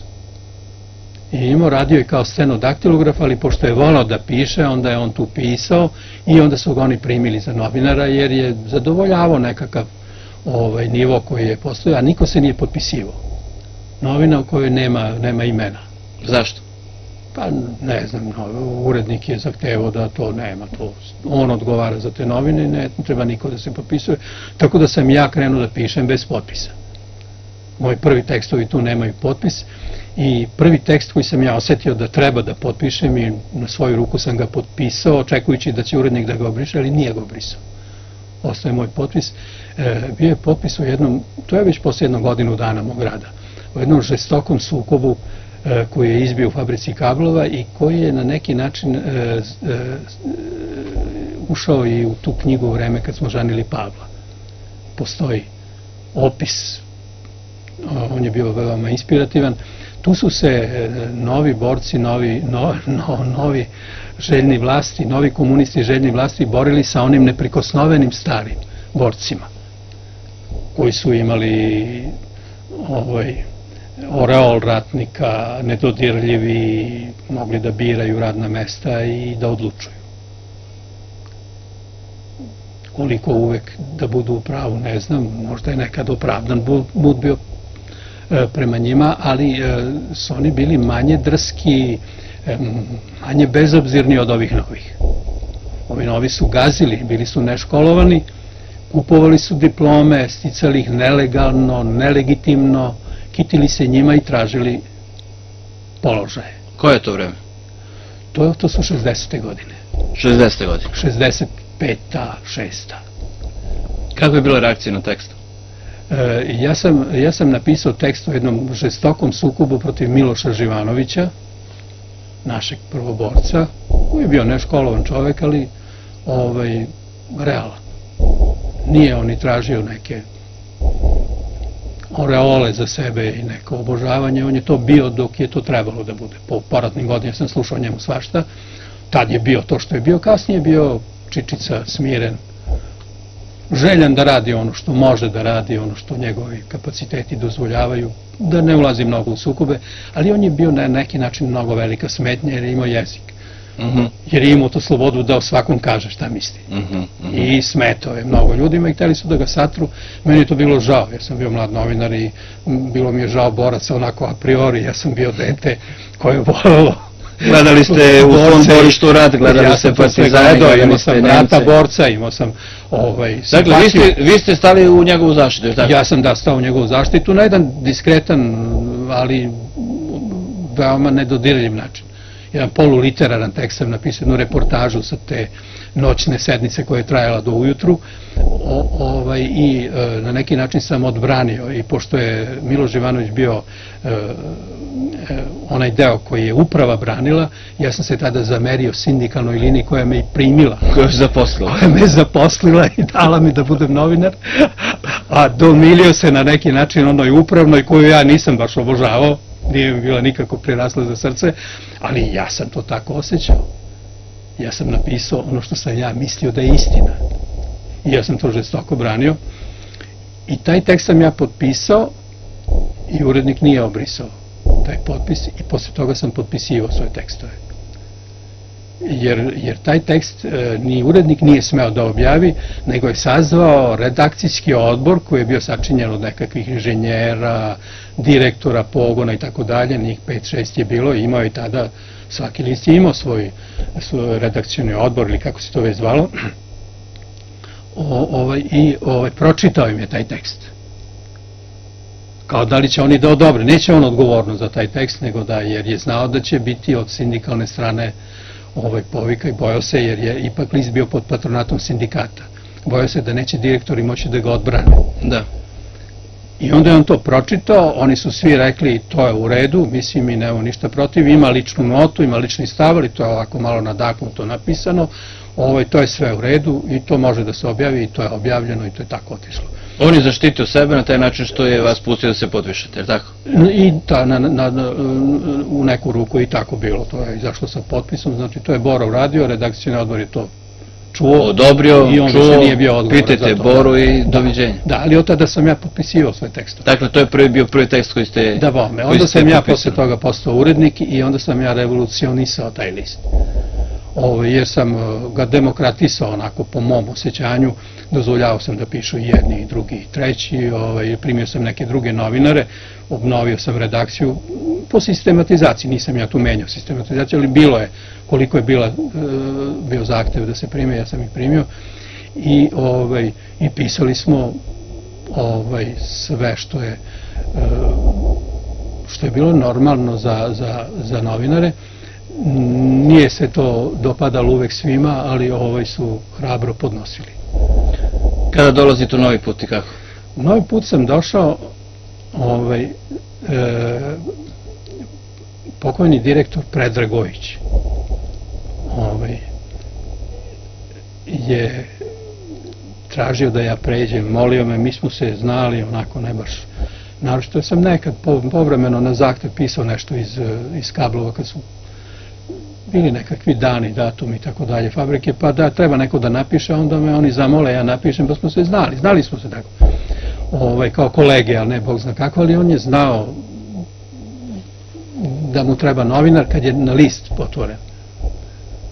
Kad je list otvoren, oni su postavili ovaj, urednika koji je bio više političar nego novinar, ne trebali su im jači novinari, i onda on vršio pritisak na mene, ja sam ovaj, imao već stambeno sam bio zbrinut od fabrike kablova e, i on mi je nudio veći stan ovde, teško se dobijali stanovi onda.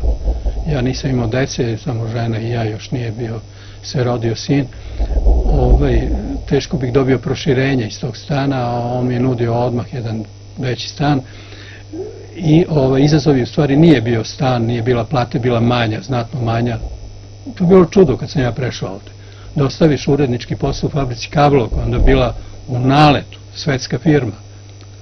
Sloboda potpuna, na moj potpis sam mogao da putujem gde god bio seminar, gde god bilo kakvo ovaj, novinarsko okupljanje u Jugoslaviji sam mogao da idem o, ovaj, bez da pitam ikoga plata sloboda. velika, Plata velika. sloboda, plata velika, o- ovaj, profesionalno, e, nadmoćan, niko nije hteo da mi se suprotstavlja, a ja sam bio obazren, naravno nisam pravi incidente, ali sam hrabro pisao, dosta hrabro, bilo je tu sukoba gde si morao da se režeš sa jednim, drugim, trećim, bilo je tu samoupravljanje je bilo, nije to bilo baš tako prosta stvar, imati samoupravljanje. Tu ljudi koji su pratili te kako šta radi direktorijum, kakvi se poslovi, kakvi potezi vuku, to je šteta što je ukinuto. Samoupravljanje. Samoupravljanje treba da postoji gde god je društvena imovina. U javnim preduzećima ukinuti samoupravljanje, dati direktorima da budu kao vlasnici, kao privatnici, pa to nema veće greške. Tu radnički savjeti su najbolja kontrola, tu nema Boga. Ali eto, u ovom haosu mi smo i to uspeli da uradimo. Društvena imovina, a nema kontrole. Dakle, u, u fabrici nije moglo da se radi tek Nije tako. moglo šta je tek tako, pa kako? Pa ja sam pisao, ovaj, veoma hrabro. U, u tim e, sukovima ja sam se stavljao na jednu ili na drugu stranu tamo gde sam smatrao da je ispravno i da je u redu i to je moralo da se čuti, da se očuti. A konsekvence kakve su bile? Nikakve. Nikakve. Malo gunđenja i malo kao prijateljskog ubeđivanja, pa nemoj kao, pa ovo, pa...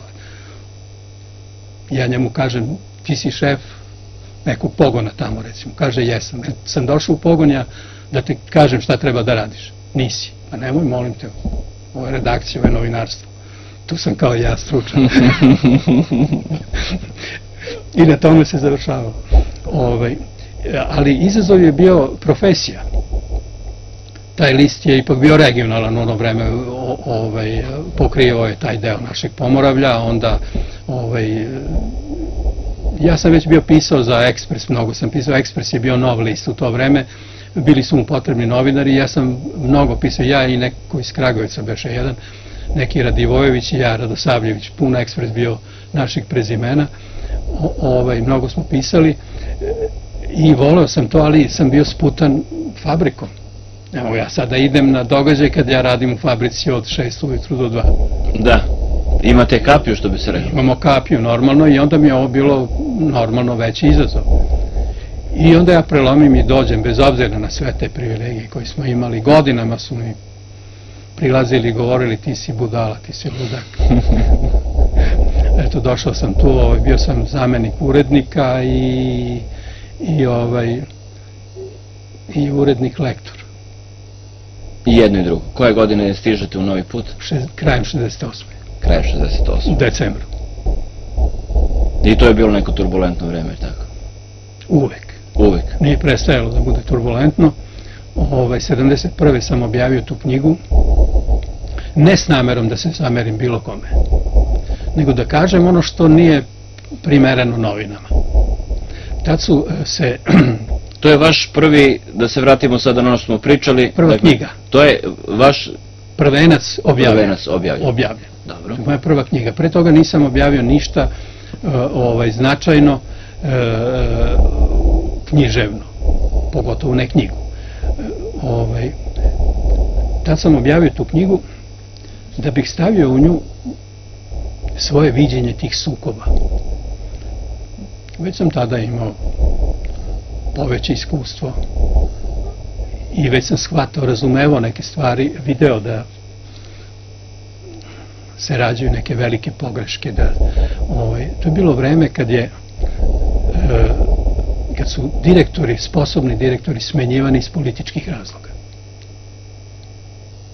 Nisu bile bitne firme onda je štamparija novca završavala sve. Štampanje novac i, i, i svi manjkovi su nadoknađivani i štampari nikom nije bilo bitno da li će direktor da napravi manjak što je meni bilo tajanstveno. Kako može da opstane neko ko posluje i napravi manjkove? Duguje, svima Dakle, redom ako, duguje. ako je poslušnik, onda Mogo je da pravi mogu je da radi i da manjko. pravi manjko. Ako Kako nije, hoće. onda ide smena, je tako? Onda ide smena, ali ide smena i onom poslušniku koji se zamerio. Mhm, Ako se zamerio, do ukidanja firme. mhm. Do ukidanja firme. Komitet od, odluči, ovaj nema plate više, nema poslova, niko s njim ne sme, s tom firmom ne sme da radi i gotovo, ide u likvidaciju. Ako mora, ali pre toga naravno se nastoji da se smeni direktor ili ta ekipa direktora, da se ne jako radnici vole svoje direktore koji su uspešni, koji im obezbeđuju platu i uvek ih brane. Ali ne vredi, to traje ta pobuna neko vreme kad vide da ne ide gotovo, dižu ruke i direktori se smenjuju, nekad ih hapse, izmišljaju se afere. E, ovo, sve to radi jedna ekipa, UDBA, policija. To su nadrealne stvari šta se radilo onda. Ja sam kao novinar se ovaj, pisao o tome, ali periferno. Periferno i obazrivo. Niste dakle smeli da... Nije se smelo mnogo direktno. I hteo sam u knjizi da to na literaran način obradim, znači na književni način da ostavim jedno svedočanstvo o tome. O tim sukobima koji su neprincipijelni, koji su iz, iz najgorih namera, iz najsebičnih namera u ime društva vođeni ti ratovi. Da razgolitim jednu tu stranu tih e, ličnosti koje e, nemaju kvalitete da budu tu gde se nalaze, a ne samo da žele da budu tu, nego žele da budu premoćni u odnosu na sve druge. Što da kažete, dakle, da je to bio neki unutarpartijski rat, je tako? Mi druge ratove nismo imali tada, samo unutarpartijske. Znači, to se sve vodilo u okviru jedne partije, ali je bilo e, raznih tu ra, raznih tu klanova, e, recimo direktori nepartijci, ali koji moraju da rade, jer znaju da rade. Pa onda kad nije više bitan novac, onda možeš da ih skloniš. Jedno vreme je bitan novac, mora preduzeće da pravi profite. Pa kad onda se osile dobiju kredite, počeli su ogromni krediti da stižu, štamparija jednu blagu inflaciju između 30 i 70 svake godine i dinar gubio. Tolika inflacija bila. Znači u okviru te inflacije ako može da se pokrije gubitak, ok. Ne, nebitan je taj koji stvara profit, onda se zaoštravali ti sukobi. I sve to ovaj, sam ja video i hteo sam da, da o tome i sad sklopila se jedna divna priča, ovaj, naravno ne možeš pisati ako, ako to nije romaneskno, ja nije literarno. Ja sam tu bio skrupulozan i vodio sam ome računa. I kad se sklopili ti, te kockice ovaj, u mojoj glavi i kad sam ja imao tu priču gotovu, ja sam to relativno brzo napisao i objavio.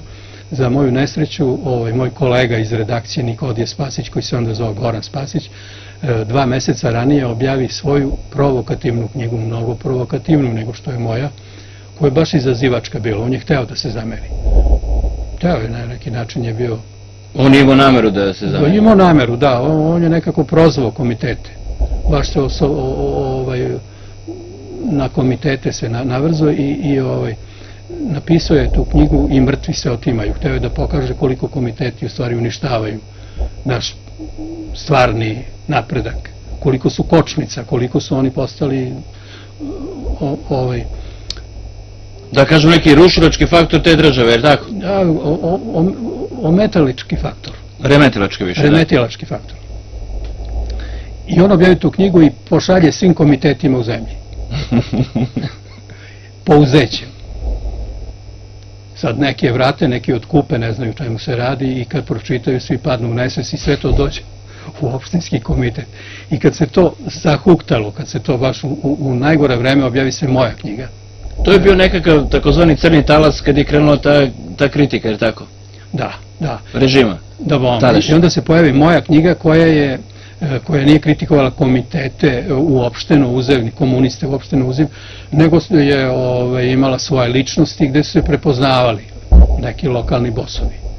Mhm. To je dakle, to je ova knjiga? Da. Vreme kad smo, ženili Pavla. Da. I ovaj,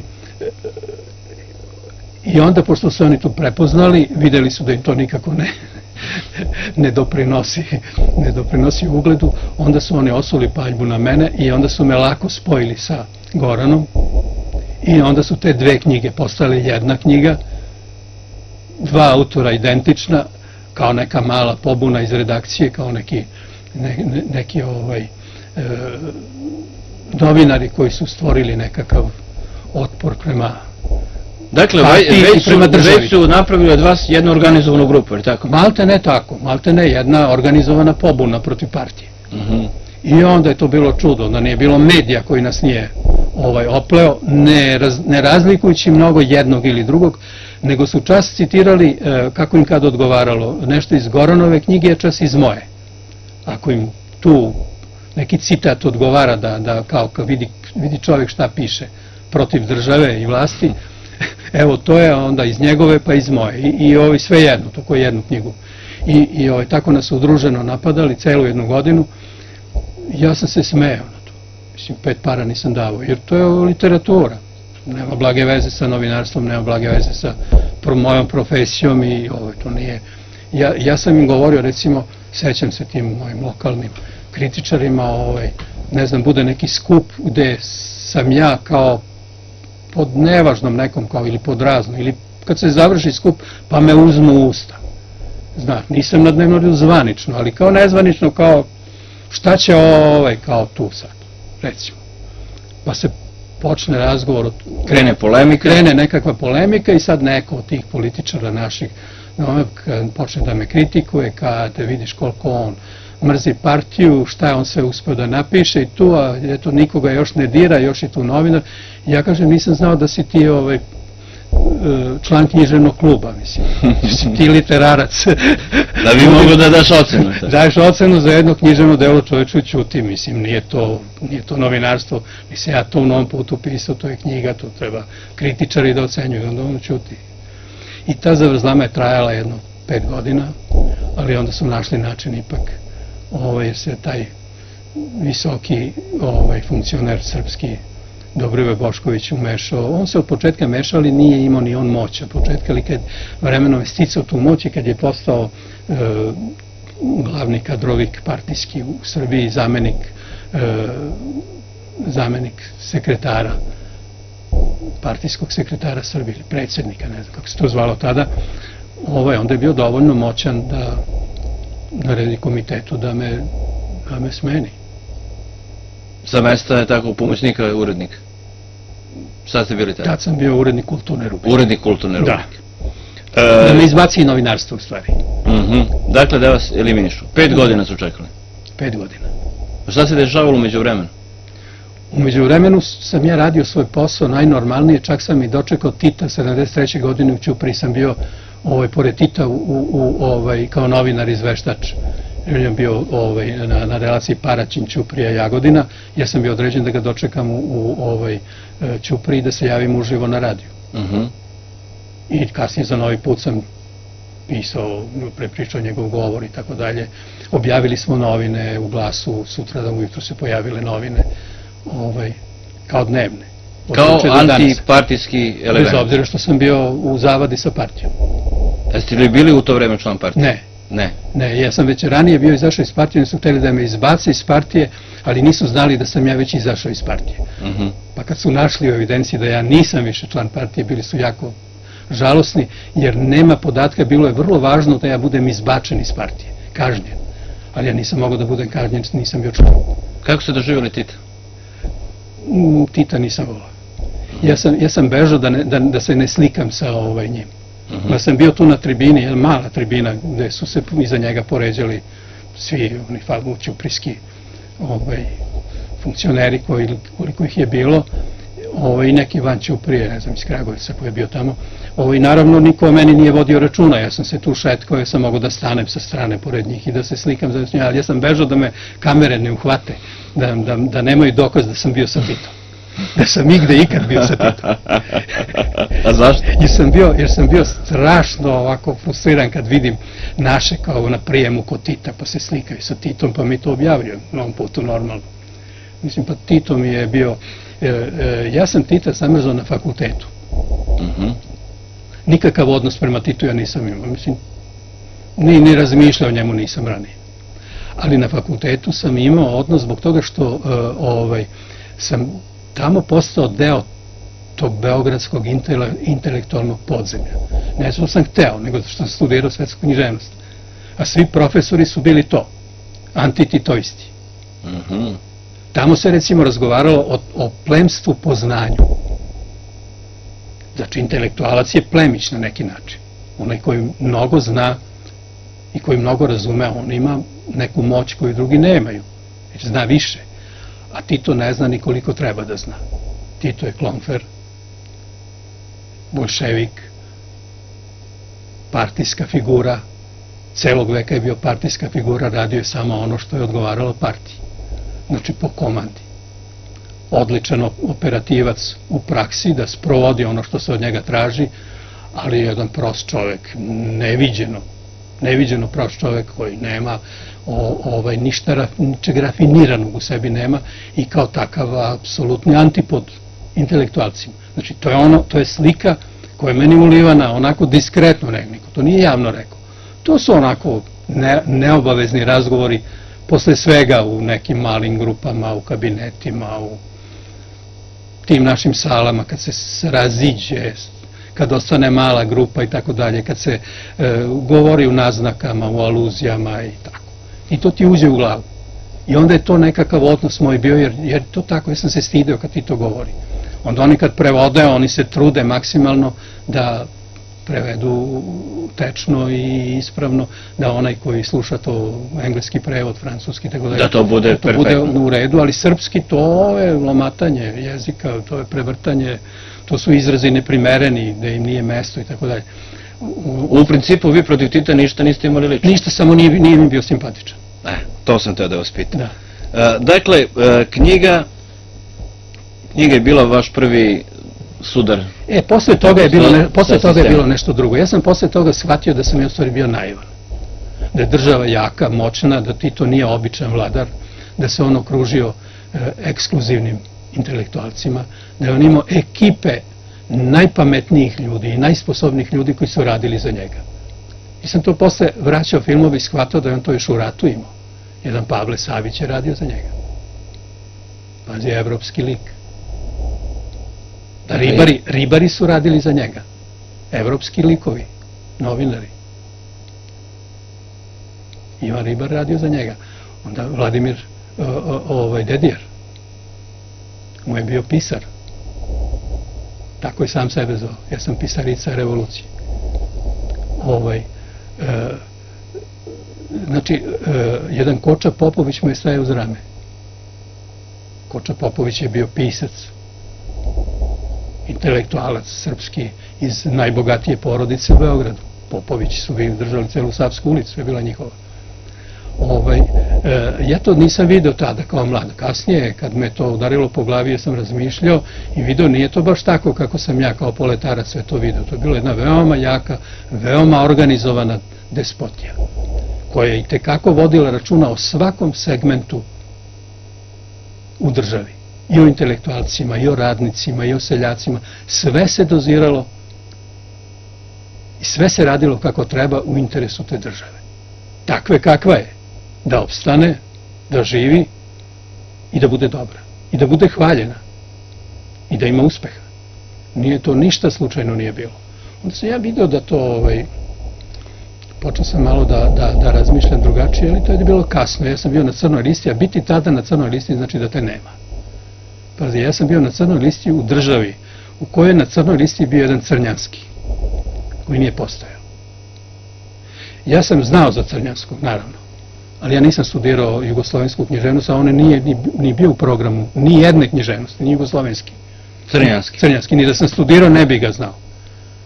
Ovaj, nisam imao vremena da čitam naše pisce, jer studirao sam svetsku, za Boga, to je, to je od, od, od e, Ramajane i, i ne znam kojih sve o, ove indijskih, persijskih epova i tako dalje preko, preko egipatske književnosti do, do, do grčke, rimske, renesanse i tako dalje, sve do danas, do nacionalnih književnosti koje se granaju s to stvari. Ovo nije to, nemaš vremena ti da čitaš sad, ne znam, da ideš po bibliotekama i da tražiš sad naki, naše zaboravljene pisce. Ja sam u Crnjanskom znao da je pisac bio dobar, da je napisao neku dobru knjigu, da je bio ovaj fašističke orijentacije, da sarađivo u fašističkom listu i da je otišao pobegao u London i da se nikad nije vratio. To sam ja znao crnjanskom. I ja sa tim znanjem dočekujem 65. godinu i njegov povratak u zemlju i ovaj prvo objavljivanje Seoba ponovno, posle 30 i ne znam koje godine. I ja zgrabim te seobe, pročitam i shvatim kakvoj sam crnoj zabludi ja živeo?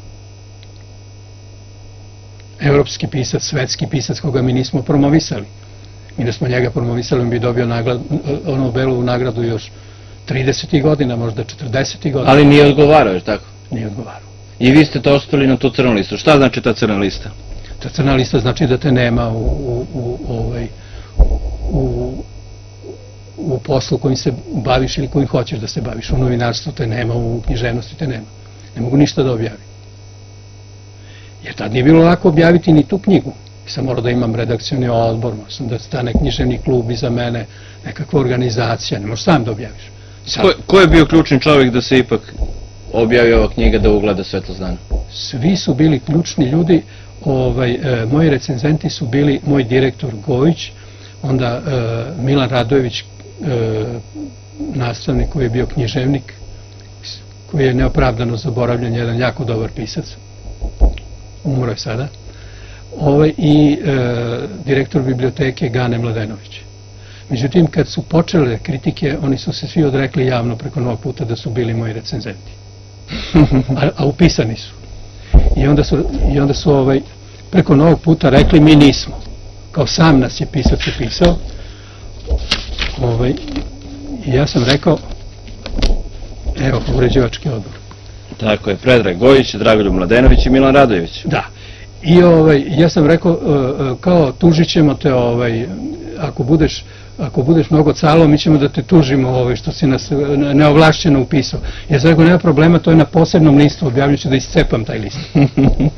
Neće štetiti knjizi ništa, jer evo taj list, taj list ću da iscepam. Nema veze. Evo, ima, ima naslovi ovo. Ovo, nema veze, ja sam se smejao na to jer sam znao da moraju da se odreknu. Da bi sačuvali sebe? Da bi sačuvali sebe. Jer niko nije znao da će to tako da se dogodi. Nisu svi hvalili tu knjigu. A i vaša namera nije bila tako Nije bila ni moja da namera da se ja ne, da se zameram. Ja sam znao da će da reaguju pojedinci, ali mnogo me briga, reagovali oni na moje novinarske tekstove. Nema veze, to je knjiga, to je roman, ne mora on da se prepozna. S koga tera da čita? Nije, nije obavezno. Međutim, to se iskomplikovalo i onda su ljudi morali da se spasavaju, rekli nismo, ja sam rekao dobro, niste, ok, sve u redu, ovaj, ali posle toga nisam mogu da objavim. I onda 74. godine ja završim knjigu Donja Mala. Ozbiljan roman. To je, ova knjiga je pisana tako. Ovaj, to je mala po obimu knjiga i to je ona knjiga puna jednog naboja. Ali prava, ozbiljna, književna e, tvorevina je Donja Mala. Tu sam hteo da iskažem sebe kao pisca. Da se dokažem kao pisac. Ovde nisam ih hteo. Ovde ste hteli da pokažem da sam pisac, ali da više izazovem jednu ovako znatiželju. Da skrenem pažnju na sebe. Ali ste malo i kritikovali, tako? Čim su se ti ljudi tu prepoznali? Na jedan književni način. Na jedan književni način. Na jedan književni liter. To su likovi koji rade nešto što rade, što ne treba I, da rade. I to su, živi ljudi. I to su, dakle, da li su to stvari koje su stvarno izdešavali? To su e, u velikoj meri stvari koje se izdogađale, ali različitim ljudima. Ja sam spajao različite događaje u jednu lik, u događaje koji, koji su pratili jednu ličnost. Znači kombinovao sam, razne tehnike sam primjenjivao da ispričam priču koja je u suštini istinita, ali ne odnosi se sve na iste ljude. Delimično se odnosi na neke ljude. I poenta čitave knjige je bila da ukažete na... Na, na, na, na, na retrogradna kretanja u društvu i na, na sukobe koji ne vode dobro. To su dakle to i unutarpartijski sukobi o kojima ste vi govorili. neprincipijalni sukobi u samoj Srbiji. Međutim, ja sam svrstan u, u, liberaliste, jer se ubrzo došla, došla afera sa smenjivanjem Latinke i Nikezića i tako dalje, Čanadanovića, e, koji su prozvani liberalima, kao ne znam šta znači to liberali. to je bilo nešto negativno, to nije negativno ovaj, ja sam spao te liberale i ovaj, došao na tu crnu listu i nisam mogao da objavim Donju Malu nigde. Ona je dobila dve prve nagrade na anonimnim konkursima. Kao pripovetka, kao deo iz te knjige je dobio prvu nagradu i kao roman. Bili su tada ne, konkursi, književni klub je raspisivao te konkurse, se javljali pisti koji su imali šta da ponude, to je bilo anonimno i ovaj, to je nagrađivano i ovaj, ja sam to ovaj, dobio te nagrade, ali to se i završavalo na tome. Niko nije hteo to da objavi. Onda sam nudio u Beogradu, izdavačkim kućama, i ukapirao da, da oni nisu samostalni. Da oni traže ime, pitaju za ime. Ko si, šta si, okrenu i pitaju i automatski ne razgovaraju sa mnom. Kao čovjek sa crne liste, tako? Da. Ne kažu ti oni to, ali kažu Vi dobijete nagradu, oni kažu da... Ne, ne, ne, da, nije, nije, da nije u skladu sa... Nemamo mogućnosti ove godine, objavljamo samo jedan rukopis, vi ste kao treći na konkursu. Ne možemo da objavimo tri knjige. Nisu vas odbili, ali su vas eliminisali, Da, da, ne možemo da objavimo. I, i ne, neće niko da objavi. I onda se vi setite da uradite šta?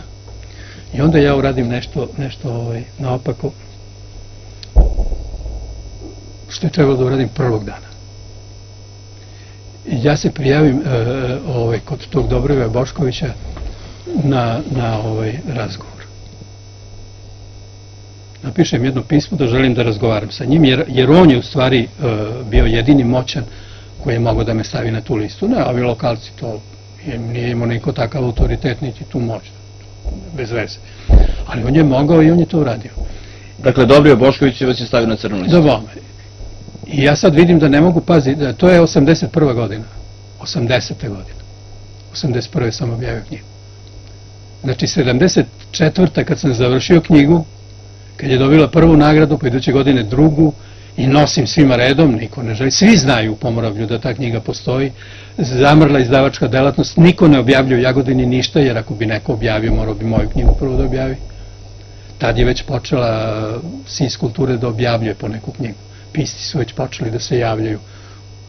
Tu i tamo bilo pisaca koji su imali knjige, niko nije smeo da objavi, nije mogao da objavi, nije hteo niko da, da im objavi, jer se saplitala moja knjiga. Stajala kao prepreka. Ja rešim da taj čvor presečem i, i ovaj, da odem tamo i da to kažem tom dobro, kažem čoveče, sve stalo zbog toga, daj da rešimo to nekako. Nisam ja toliko loš kao što izgleda, je tako? Nisam ni sam znao. Znao- sam da nešto oko knjige moram da mu pričam, da, da je tu akcenat na tome, ali kako će to da se dogodi, sramota me je bilo, ali sam bio rešio da to izdržim, sam shvatio da je to u stvari jedno mangupsko društvo koje može sve. Moćno društvo i da tu moraš da budeš ovaj, e, mangup i ti, da moraš da se pretvaraš. Šta sad? Ja mislim jedno, sad ja teram svoje, neću ja da se punim. A stotine njih mi je reklo čoveč, ne budali, idi kod Dobriva, završi to čoveče. Pazi, njegovi prijatelji, za koje znam da su njegovi prijatelji, jedan od njih je moj urednik, Rade Jovanović, koji mi bar deset puta to rekao. Čovek mi je u redakciji. A šta bre radiš, bre, imamo problem s tobom, idi kod Dobriva.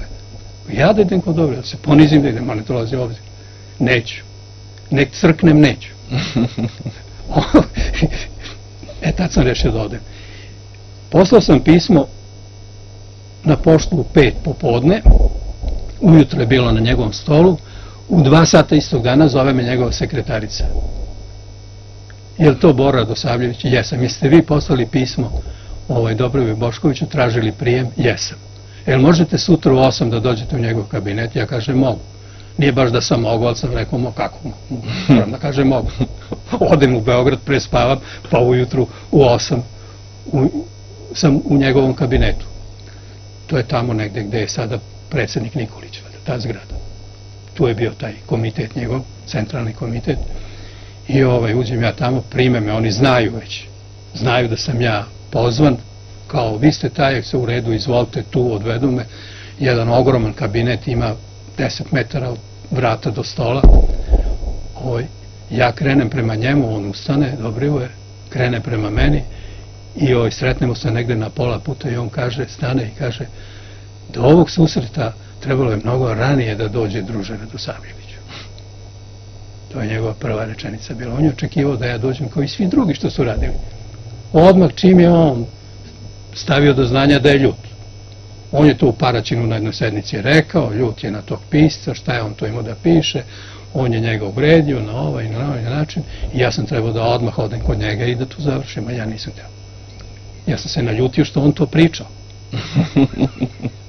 E, je li i on bio prozvan u toj knjizi? Ne, u jednom delu jeste bio je prozvan, njegov, njegov život je bio za mene interesantan kao čo, nekog čoveka koji ima bazu ovde, a veliki je funkcioner u Beogradu i ja sam teo jedan takav lik da imam i on je bio to. I kako se završio taj susret? Taj susret je završio tako što je on pričao pola sata i ja sam čutao. On je rekao, e, ti si e, pisao meni, ali ti nemaš prave informacije o meni i ovaj, trebalo je da dođeš kod mene da ti ja ispričam svoj život, da ti znaš, kad pišeš, da ti znaš o čemu da pišeš. I on mi je pričao o svom životu. Ja sam to iskoristio neke detalje za nekim svojim kasnim knjigama, nešto mi je bilo interesantno, na neke moje načine, nisam naravno ovaj, onako kako je on možda želao, ali e, to se završilo tako što sam ja ovaj, naravno dobio oproštaj. Knjiga je mogla da bude objavljena, on je odmah napisao jedno pismo ovaj, komitetu u Jagodini, meni je to bilo neverovatno, ali to se odmah dogodilo. E, predsednik komiteta je bio, sekretar komiteta je bio moj drugi iz fabrike kablova, koji me odmah pozvao ujutru i rekao, dobro je stiglo pismo, dobro je i zajedno smo ga čitali u komitetu. Ja sam pročitao to pismo, nemam ga. On je rekao komitetu da mora da brine o piscima, da brine o knjigama, to i to njegova dužnost, da se to organizuje, da se ta knjiga što pre objavi i tako dalje. I naravno mi smo to objavili. Ovaj, biblioteka bila izdavač i to je objavila. Ali mi je rekao, ovaj, što se mene tiče, nema nikakvih problema, ovaj, ti se vrati u, u redakciju. Ali reda radi, obavesti svoje lokalne funkcionere. Idi kod njih, porazgovaraj, popi kafu i kaži. Ja kažem u redu. I ja zaređam. Dobro, sekretar komiteta bio moj drug, mislim, nema problema, sam kod njega i ranije išao. Ovaj,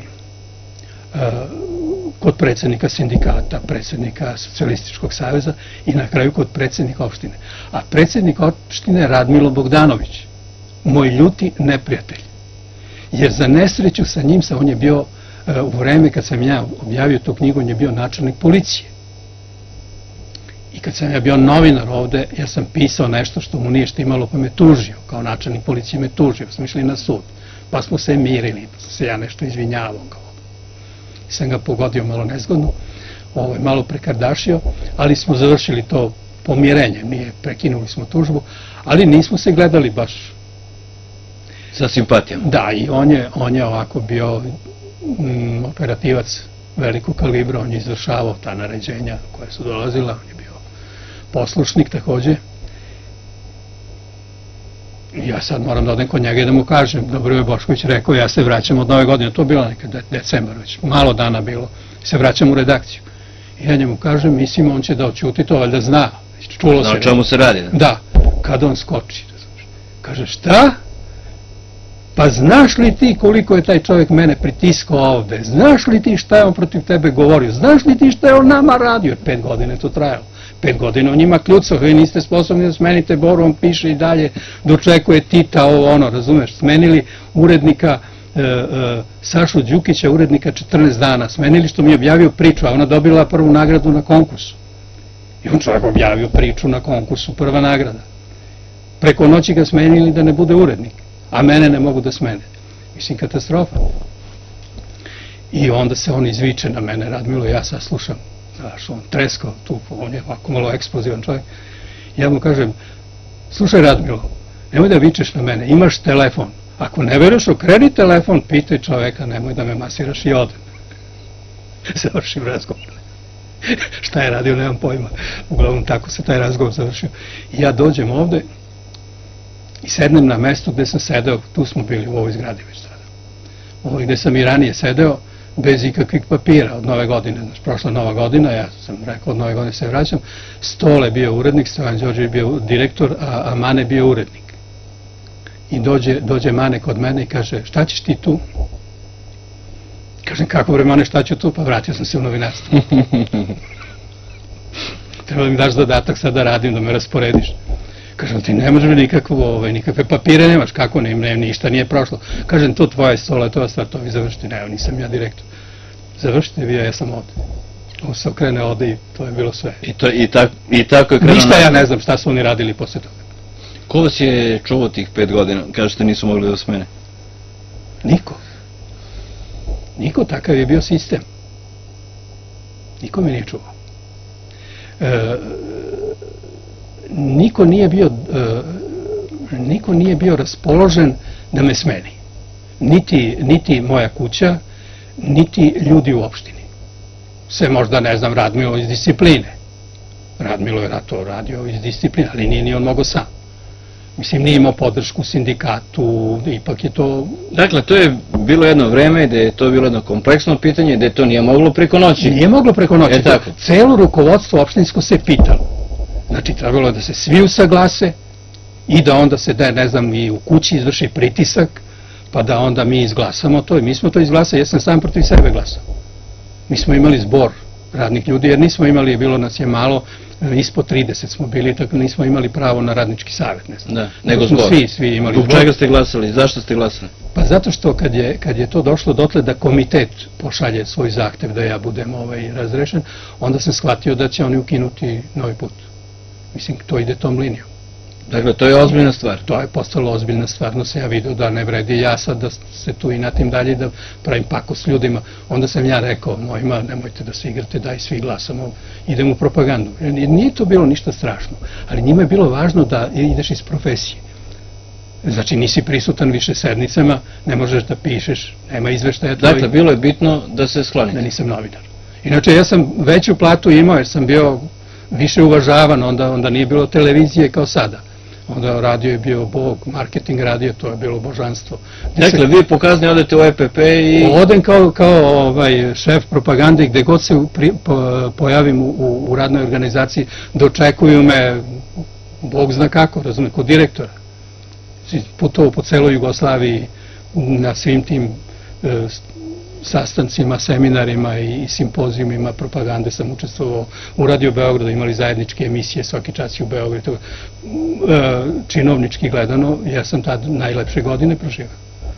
Ali nisam volao. Turbulentne godine dočekujete na kom mestu? Kreće opozicija, godine kreće borba. Očekujem na mestu, na mestu urednika lista e, koga su postavile sve opštine u regionu. I koga niko ne može da smeni, jer niko više ne može da sazove te opštine. Zašto ne može da se zove?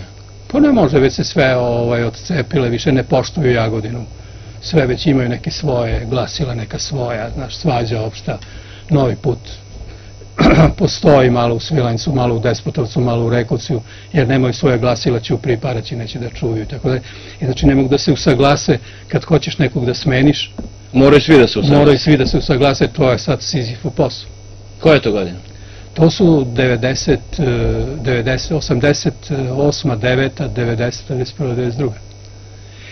E, i ja postajem urednik nekakvim čudom.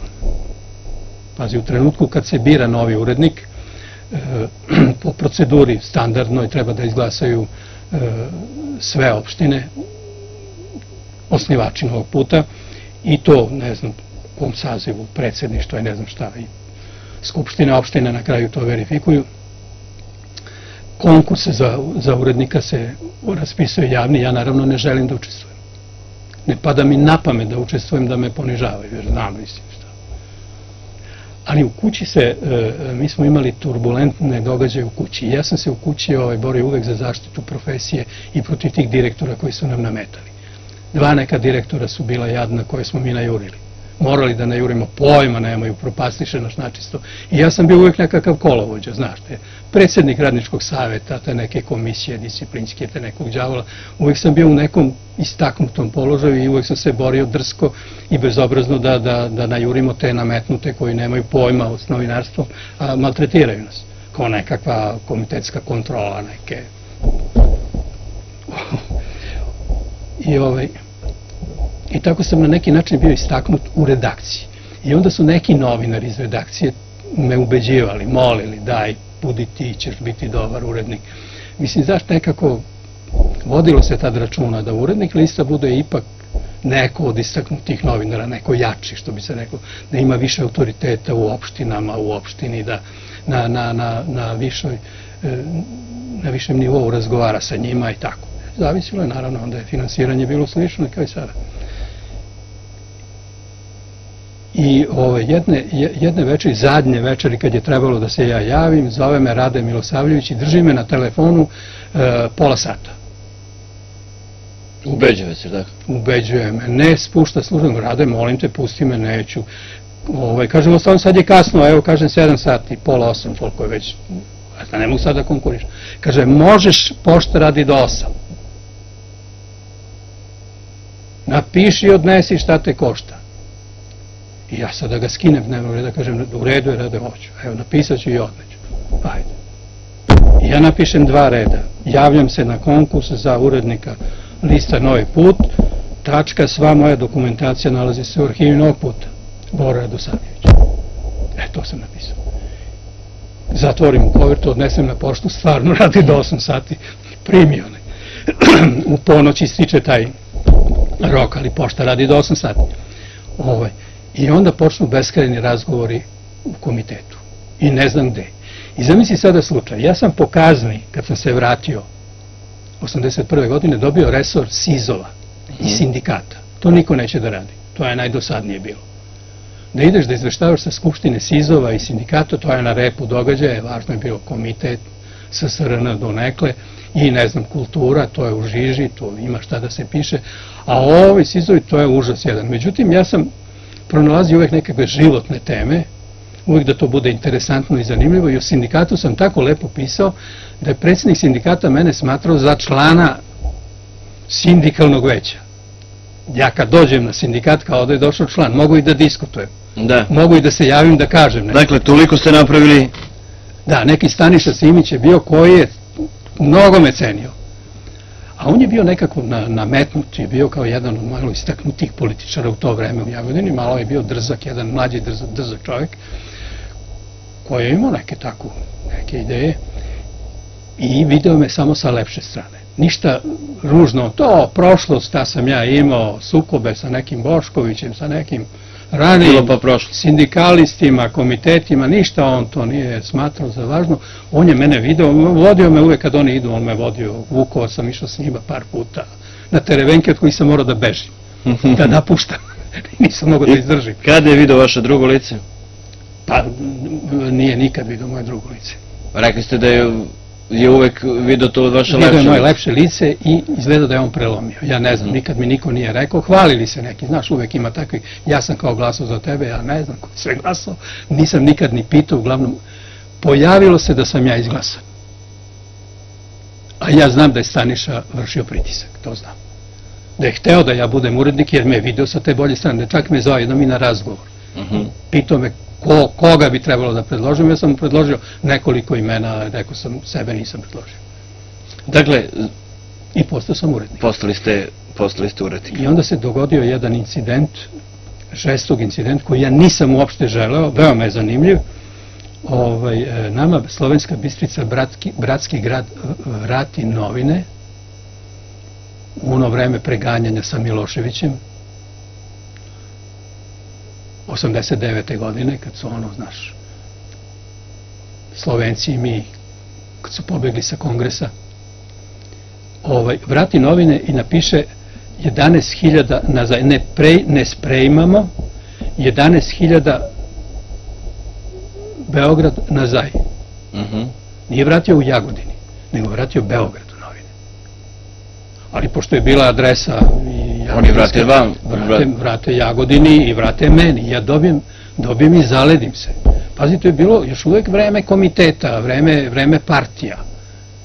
I ja sad vidim da to nešto nije u redu, pazi, mislim, to su već krupne stvari, izvan mene, to su državne stvari. Slovenci vratili Miloševiću novine, moje novine vratili, ne primaju.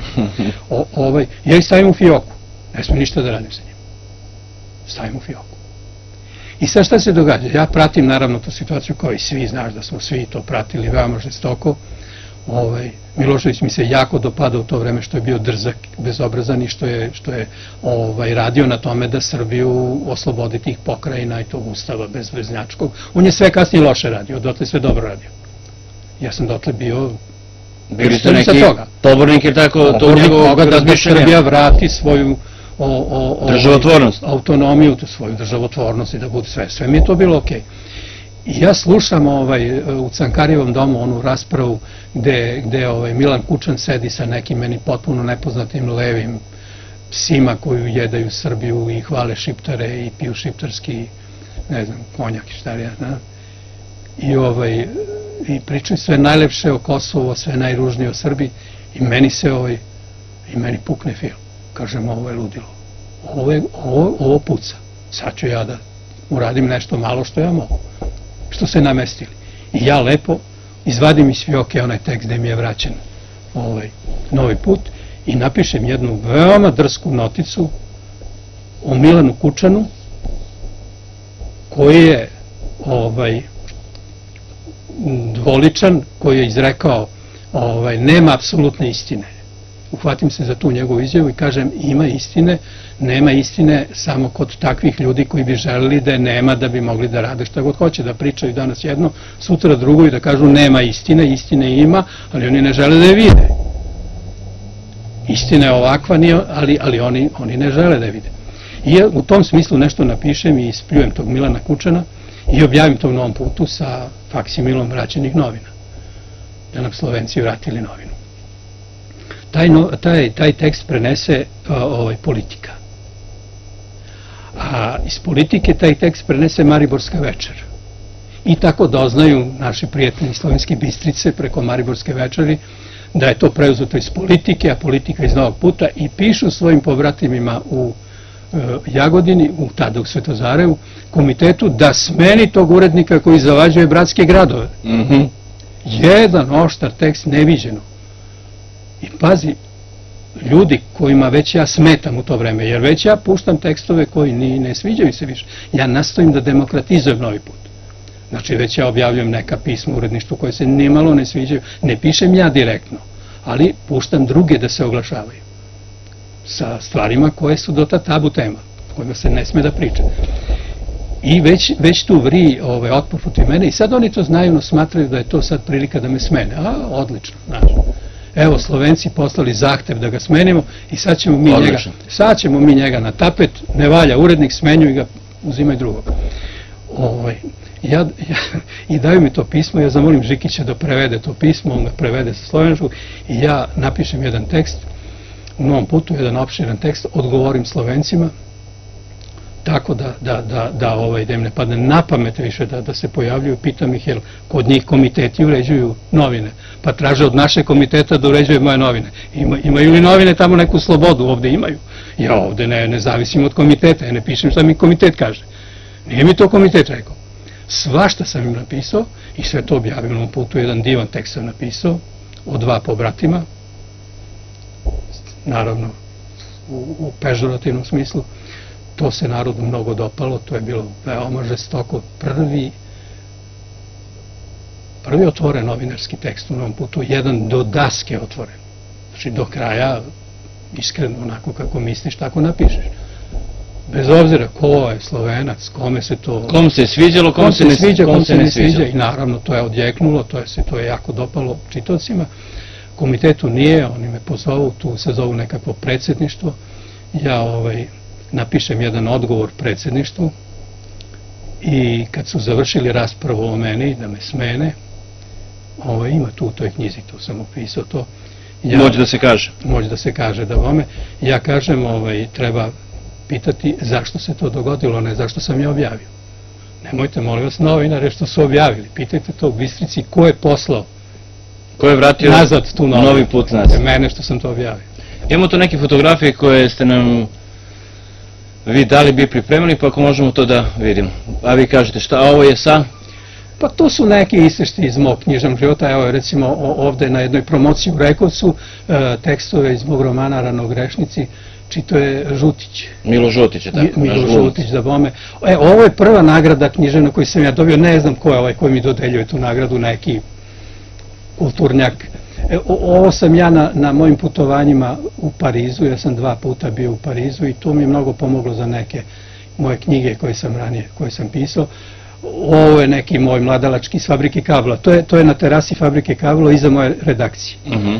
To sam bio novinar u, u kablovima. To je ovako za uspomenu na to. Ovo je opet jedna, jedna, jedan snimak iz Pariza, o, ovaj sa ulice, ne, ne, bilo mi interesantan ovaj, ovaj kip pozadi nekakav, fontana neka, neka pariska. E, ovo je, ovo je sa promocije, ovo je, ovo je glumica ova naša poznata glumica Jelena Žigon, Mhm. koja je čitala u udruženju književnika e, odlovke iz romana Anđelko i drugovi. Sam imao u udruženju jedan, jednu zapaženu promociju tog romana, e, ogovorila su tri čak e, istaknuta e, ovaj, književnika ovaj, na toj promociji bilo je ovako dosta, dosta sveta i tu ima nekoliko tih snimaka, ovo je opet Svetlana Ljiljana Šop se vidi, e, Ratko Adamović, e, eno vidi se ovaj, iz televizije onaj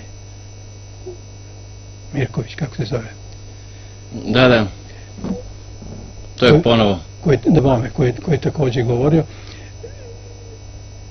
To, to je jedna, je- jedan ovaj set e, fotografija koji sam ja odabrao za onako čisto da, da radi podsjećanja iz, iz, iz sa tih mojih književnih večeri i iz života. Evo recimo ovaj desno to je to je ovaj Dževat Sabljaković, poznati novinar iz 90. godina, e, koji je kasnije bio urednik na, na onom radio brodu, ako se sećaš. Da. A poznat je po tome što su ga smenili zajedno sa e, Veroslavom Tadić. U paketu. Iz te, u paketu iz, iz ovaj, e, televizije Beograd Da. Iz televizije Srbije zbog skraćivanja Titovog govora, disident moj drug sa fakulteta. Zajedno smo studirali, ovo je slika iz studijskog rada. Eriksonovi daleko, je tako? Ovo je naslovna stranica Eriksonovih daleko, da bome. Kaže, e, najveći broj intelektualaca, među njima pisci i novinari u svim komunističkim zemljama, angažovao se na rušenju starih režima i stvaranju demokratije. Pokazalo se da su na taj način sekli granu na kojoj su sedeli. Trebali zbog toga da žale.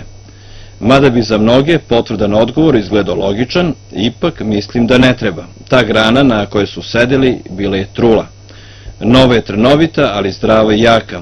I oni koji imaju moć da kažu, koji svi drugi, morat će da nauče kako se i na takvoj grani može sedeti udobno. Da, Kako vidite to To što ste je- napisali tada, posle 5. oktobarskih promjena? da. E, Petooktobarske promene nisu donele ni piscima, ni, ni ostalima ništa dobro i mi smo još uvek negde na polovini e, tog puta te tranzicije. E, ja mislim da ni, ni one zemlje koje su mnogo ranije od nas počele tranziciju nisu je završile.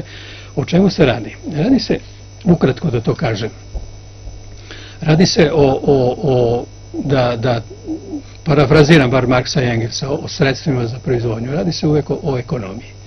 Ekonomija u komunizmu je bila društvena, a njome su upravljali oni koji su bili predstavnici društva. I oni su tražili intelektualce da, da ih podržavaju u tome. Sada ekonomijom bogati ljudi, oni koji stvaraju bogatstvo, oni upravljaju tim bogatstvom i njima nisu potrebni e, ljudi da ih e, e, podržavaju da bi svoju imovinu čuvali. Njima su potrebni zakoni. Svi su oni sad za Evropu i za evropske zakone jer oni čuvaju svetinju privatnosti. Privatnu imovinu čuva Evropa. Da. Nor- Normalno su svi za Evropu. Ali o čemu se radi? Nisu svi stekli to bogatstvo, niti ga danas stiču radom. Kad dođe taj trenutak, kad nas Evropa prisili da radom, znanjem, umenjem, svojim veštinama, svojom pameću, svojim talentom, kao što to rade recimo sportisti, umetnici, pevači, muzičari, slikari, književnici i tako dalje, kad steknu bogatstvo, stekli ga radom i znanjem.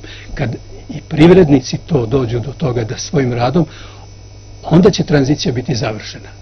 Onda će oni ponovo tražiti da se o njima piše, jer će imati čime da se pohvale. Svako će hteti onda da dođe neki novinar, bilo s televizije, bilo s radija, bilo iz novina i da piše o njemu, ja sam uspešan čovek, pišite o meni, slikajte me. Ali sada se kriju, sada kradu, kako možeš voleti novinara kad si prljavih ruku i bojiš se, bojiš se ovaj, da se to ne sazna? Krade se ili tako što se švercuje droga, ili što se švercuje falsifikovana roba, odnosno, kako se to kaže, plagirana roba Da. Ovaj iz Kine i, i, i, ili, ili tako što se posluje sa javnim preduzećima pa se o njima prodaje skupo ili od njih kupuje jeftino, pa se deli ona, ona razlika. Ili, ili ne znam kako, ti tenderi kad se raspisuju daje se privilegovanim ljudima, pa se onda to košta mnogo više, most, kaže, košta e, 200 miliona evra onaj most košta, a, a ovaj, prava cena mu je 150 miliona. Gde su 50 miliona evra? Znači, pojeli neki tamo. A u kom smo mi sada sistemu? E, mi smo sada u tom sistemu da novinari nisu poželjni zato što, zato što većina ljudi još uvek nije, nije čvrsto na svojim nogama i ne zarađuje još uvek na legalan, legitiman i pošten način. Ali postoje novine, postoje novinari. E, sad, e, to je sada pometnja. Oni koji ne žele pravo novinarstvo, ne žele pošteno pisanje, oni kupuju novine, kupuju medije, daju reklame i vezuju te na taj način. Nemoj izgubit ćeš reklame, ako budeš pisao protiv mene, nema reklame. I na, na razne načine ucenjuju medije da budu da spuštaju nivo pisanja, da ne vide stvari koje treba da vide i tako dalje, da se prolongira, da se ne piše. Da li to znači, znači, to je ta pometnja. Da li to znači da ste vi u toj u, toj, e, u tim partijskim medijima u vreme uh, Tita imali... Ne. Imali, imali, smo veću, imali smo veću slobodu. Manju ili veću slobodu? Imali smo veću slobodu uh, gledano kvantitativno.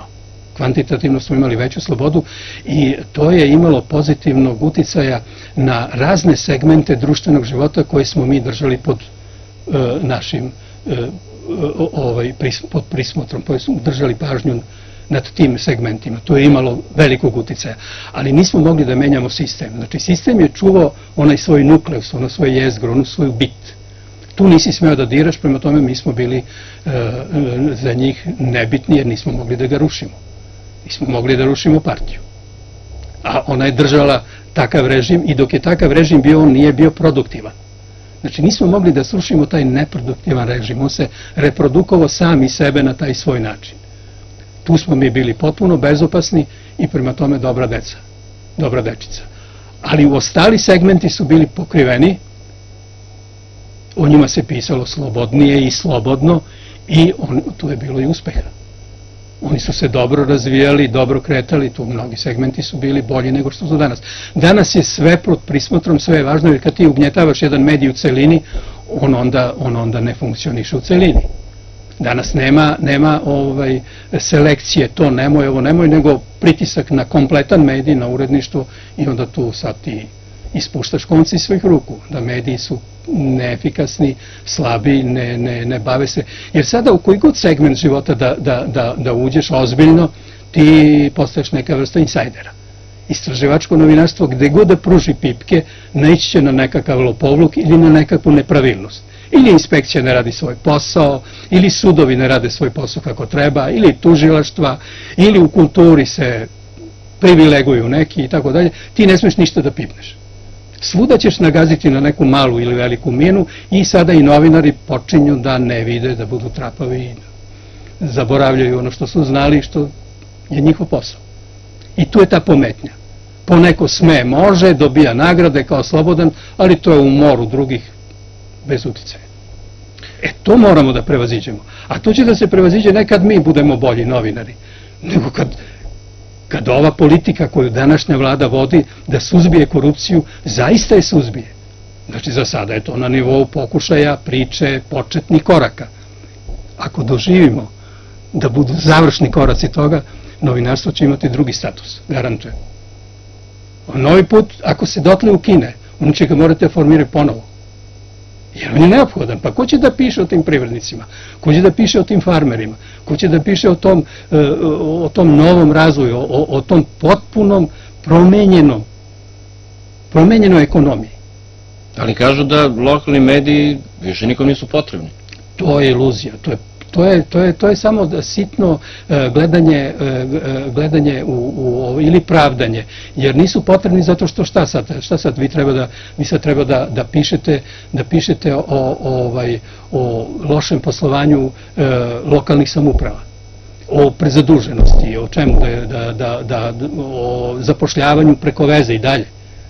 Nema konkursa o, o ne znam kakvim tenderima. Ove, ovaj, šta, pa vi ste onda nepotrebni šta da čačkate te stvari, mirno se živi bez novinara. To sam ja celog veka doživljavao. Ma, molim te samo, izađi, nemoj da razgovaraš sa mnom, piši nešto drugo. Mislim, to je normalna stvar da, da ne trebate. Trebate i tekako. Ali, ali ako, ako ovaj, e, se ustanovi i ustali jedan normalan red, da se ljudi primaju na konkursu prema znanju, koji mogu nešto da doprinesu, koji mogu nešto da unaprede, a ne da unazade. Pa naravno svako ko je primio takvog čoveka doće, mene su zvali u fabrici kablo kad sam bio novinar, kad prime nekog stipendistu sa visokim ocenama, nekog inženjera koji dođe i koji obećava, koji je inženjer, da pišemo njemu, jer to je novi mladi kadar, koga su oni dočekali raširenih ruku. Hvale se time. Mali primer, ovaj, sa svakim dobrim i, i, i ovaj, jakim kadrom će se hvaliti neko koga je primio. A kako da se hvali sad kad primio nekog svog tamo Stričevića, nekog bratanca, zaposlio koji nema školu. Deset godina ste se praktično aktivno borili, je tako, da. protiv tadašnjeg režima Slobodana Miloševića.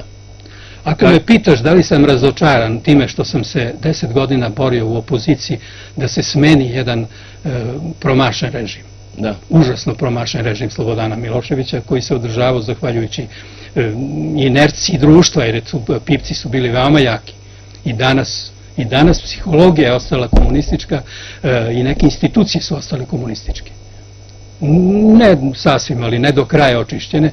To se vuče dugo. Nisam razočaran. Nisam razočaran jer, jer su temelji promenjeni.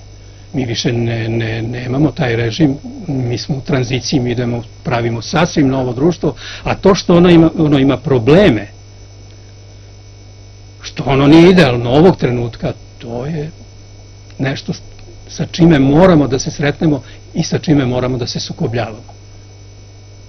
Znači, mi moramo da to vidimo, da kažemo, ja sam veoma zadovoljan ovom sadašnjom vladom, nemoj mi reći da je Vučić onaj protiv koga sam celog veka bio. Sada nisam. Sada odobravam to što radi. Ja mislim da je na pravom putu. Dakle, vi vidite svetlu perspektivu za Srbiju? Ja vidim da Srbija sada radi ono što je trebalo da radi pred deset godina. Nije radila, nažalost, šta da radi. Ali je stvorila milje, stvorila atmosferu da se to radi, stvorila institucije, stvorile prve korake napravila, mir u regionu, mir sa Evropom, kretanje prema Evropi, znači stvorile uslove da ova vlada sada to uzme kao gotovu tortu i da je raspodeljuje. Razumeš, stvoreno je nešto, nije da nije ništa stvoreno. To što smo mi uspod malo, što kaže Velja Ilić, kraduckali i tako dalje, nažalost. To je već drugi problem. Šta da radimo? Na kraju smo emisije da vas pitam da li i dalje nešto pišete, beležite? Pišem, upravo sam ponudio izdavačima ovaj, jedan svoj novi roman i dobio sam odgovor da je roman jako dobar i divan, ali da nemaju pare da ga objave. Jer kaže, nažalost nije komercijalan. Mi ovaj, objavljamo, eto tako, da sam neka poznata ličnost, zvezda, estradna, glumačka, ne znam kakva, sad pa da napišem neki svoj. Ovaj, to bi se prodavalo bolje i oni bi mi objavili, ali ja sam ipak ostao provincijalni pisac, nemam veliko ime da bi da bih mogao svoje knjige da prodajem na velikoj teritoriji. Za komitet ste bili na crnoj listi, za ove izdavače... Nepoznat. Nepoznat, odnosno nema... Ne, nedovoljno afirmisano ne, nerentabil, nerentabilan. Nerentabilan, tako je. I na kraju krajeva? Pa eto, i to je, i to je sada, sadašnji trenutak, to je sadašnja stvarnost. Ja sam ranije i ranije nailazio na takav problem isti i tražio sponzore i nalazio ih, ali sad sam se umorio od toga, malo me i sramota da tražim sponzore više. Ovaj, računam ako neko e, ako se neko domisli da to nešto vredi pa možda će ipak da, da se odluči da objavi ako ne, ništa. Ja zahvaljujem na gostovanju i naravno želim vam da da se to objavi. da se to objavi. Hvala hvala još jednom na razgovor Poštovani gledalci, bio je to Bora Radosavljević, književnik i novinar. Hvala na pažnji i prijetno.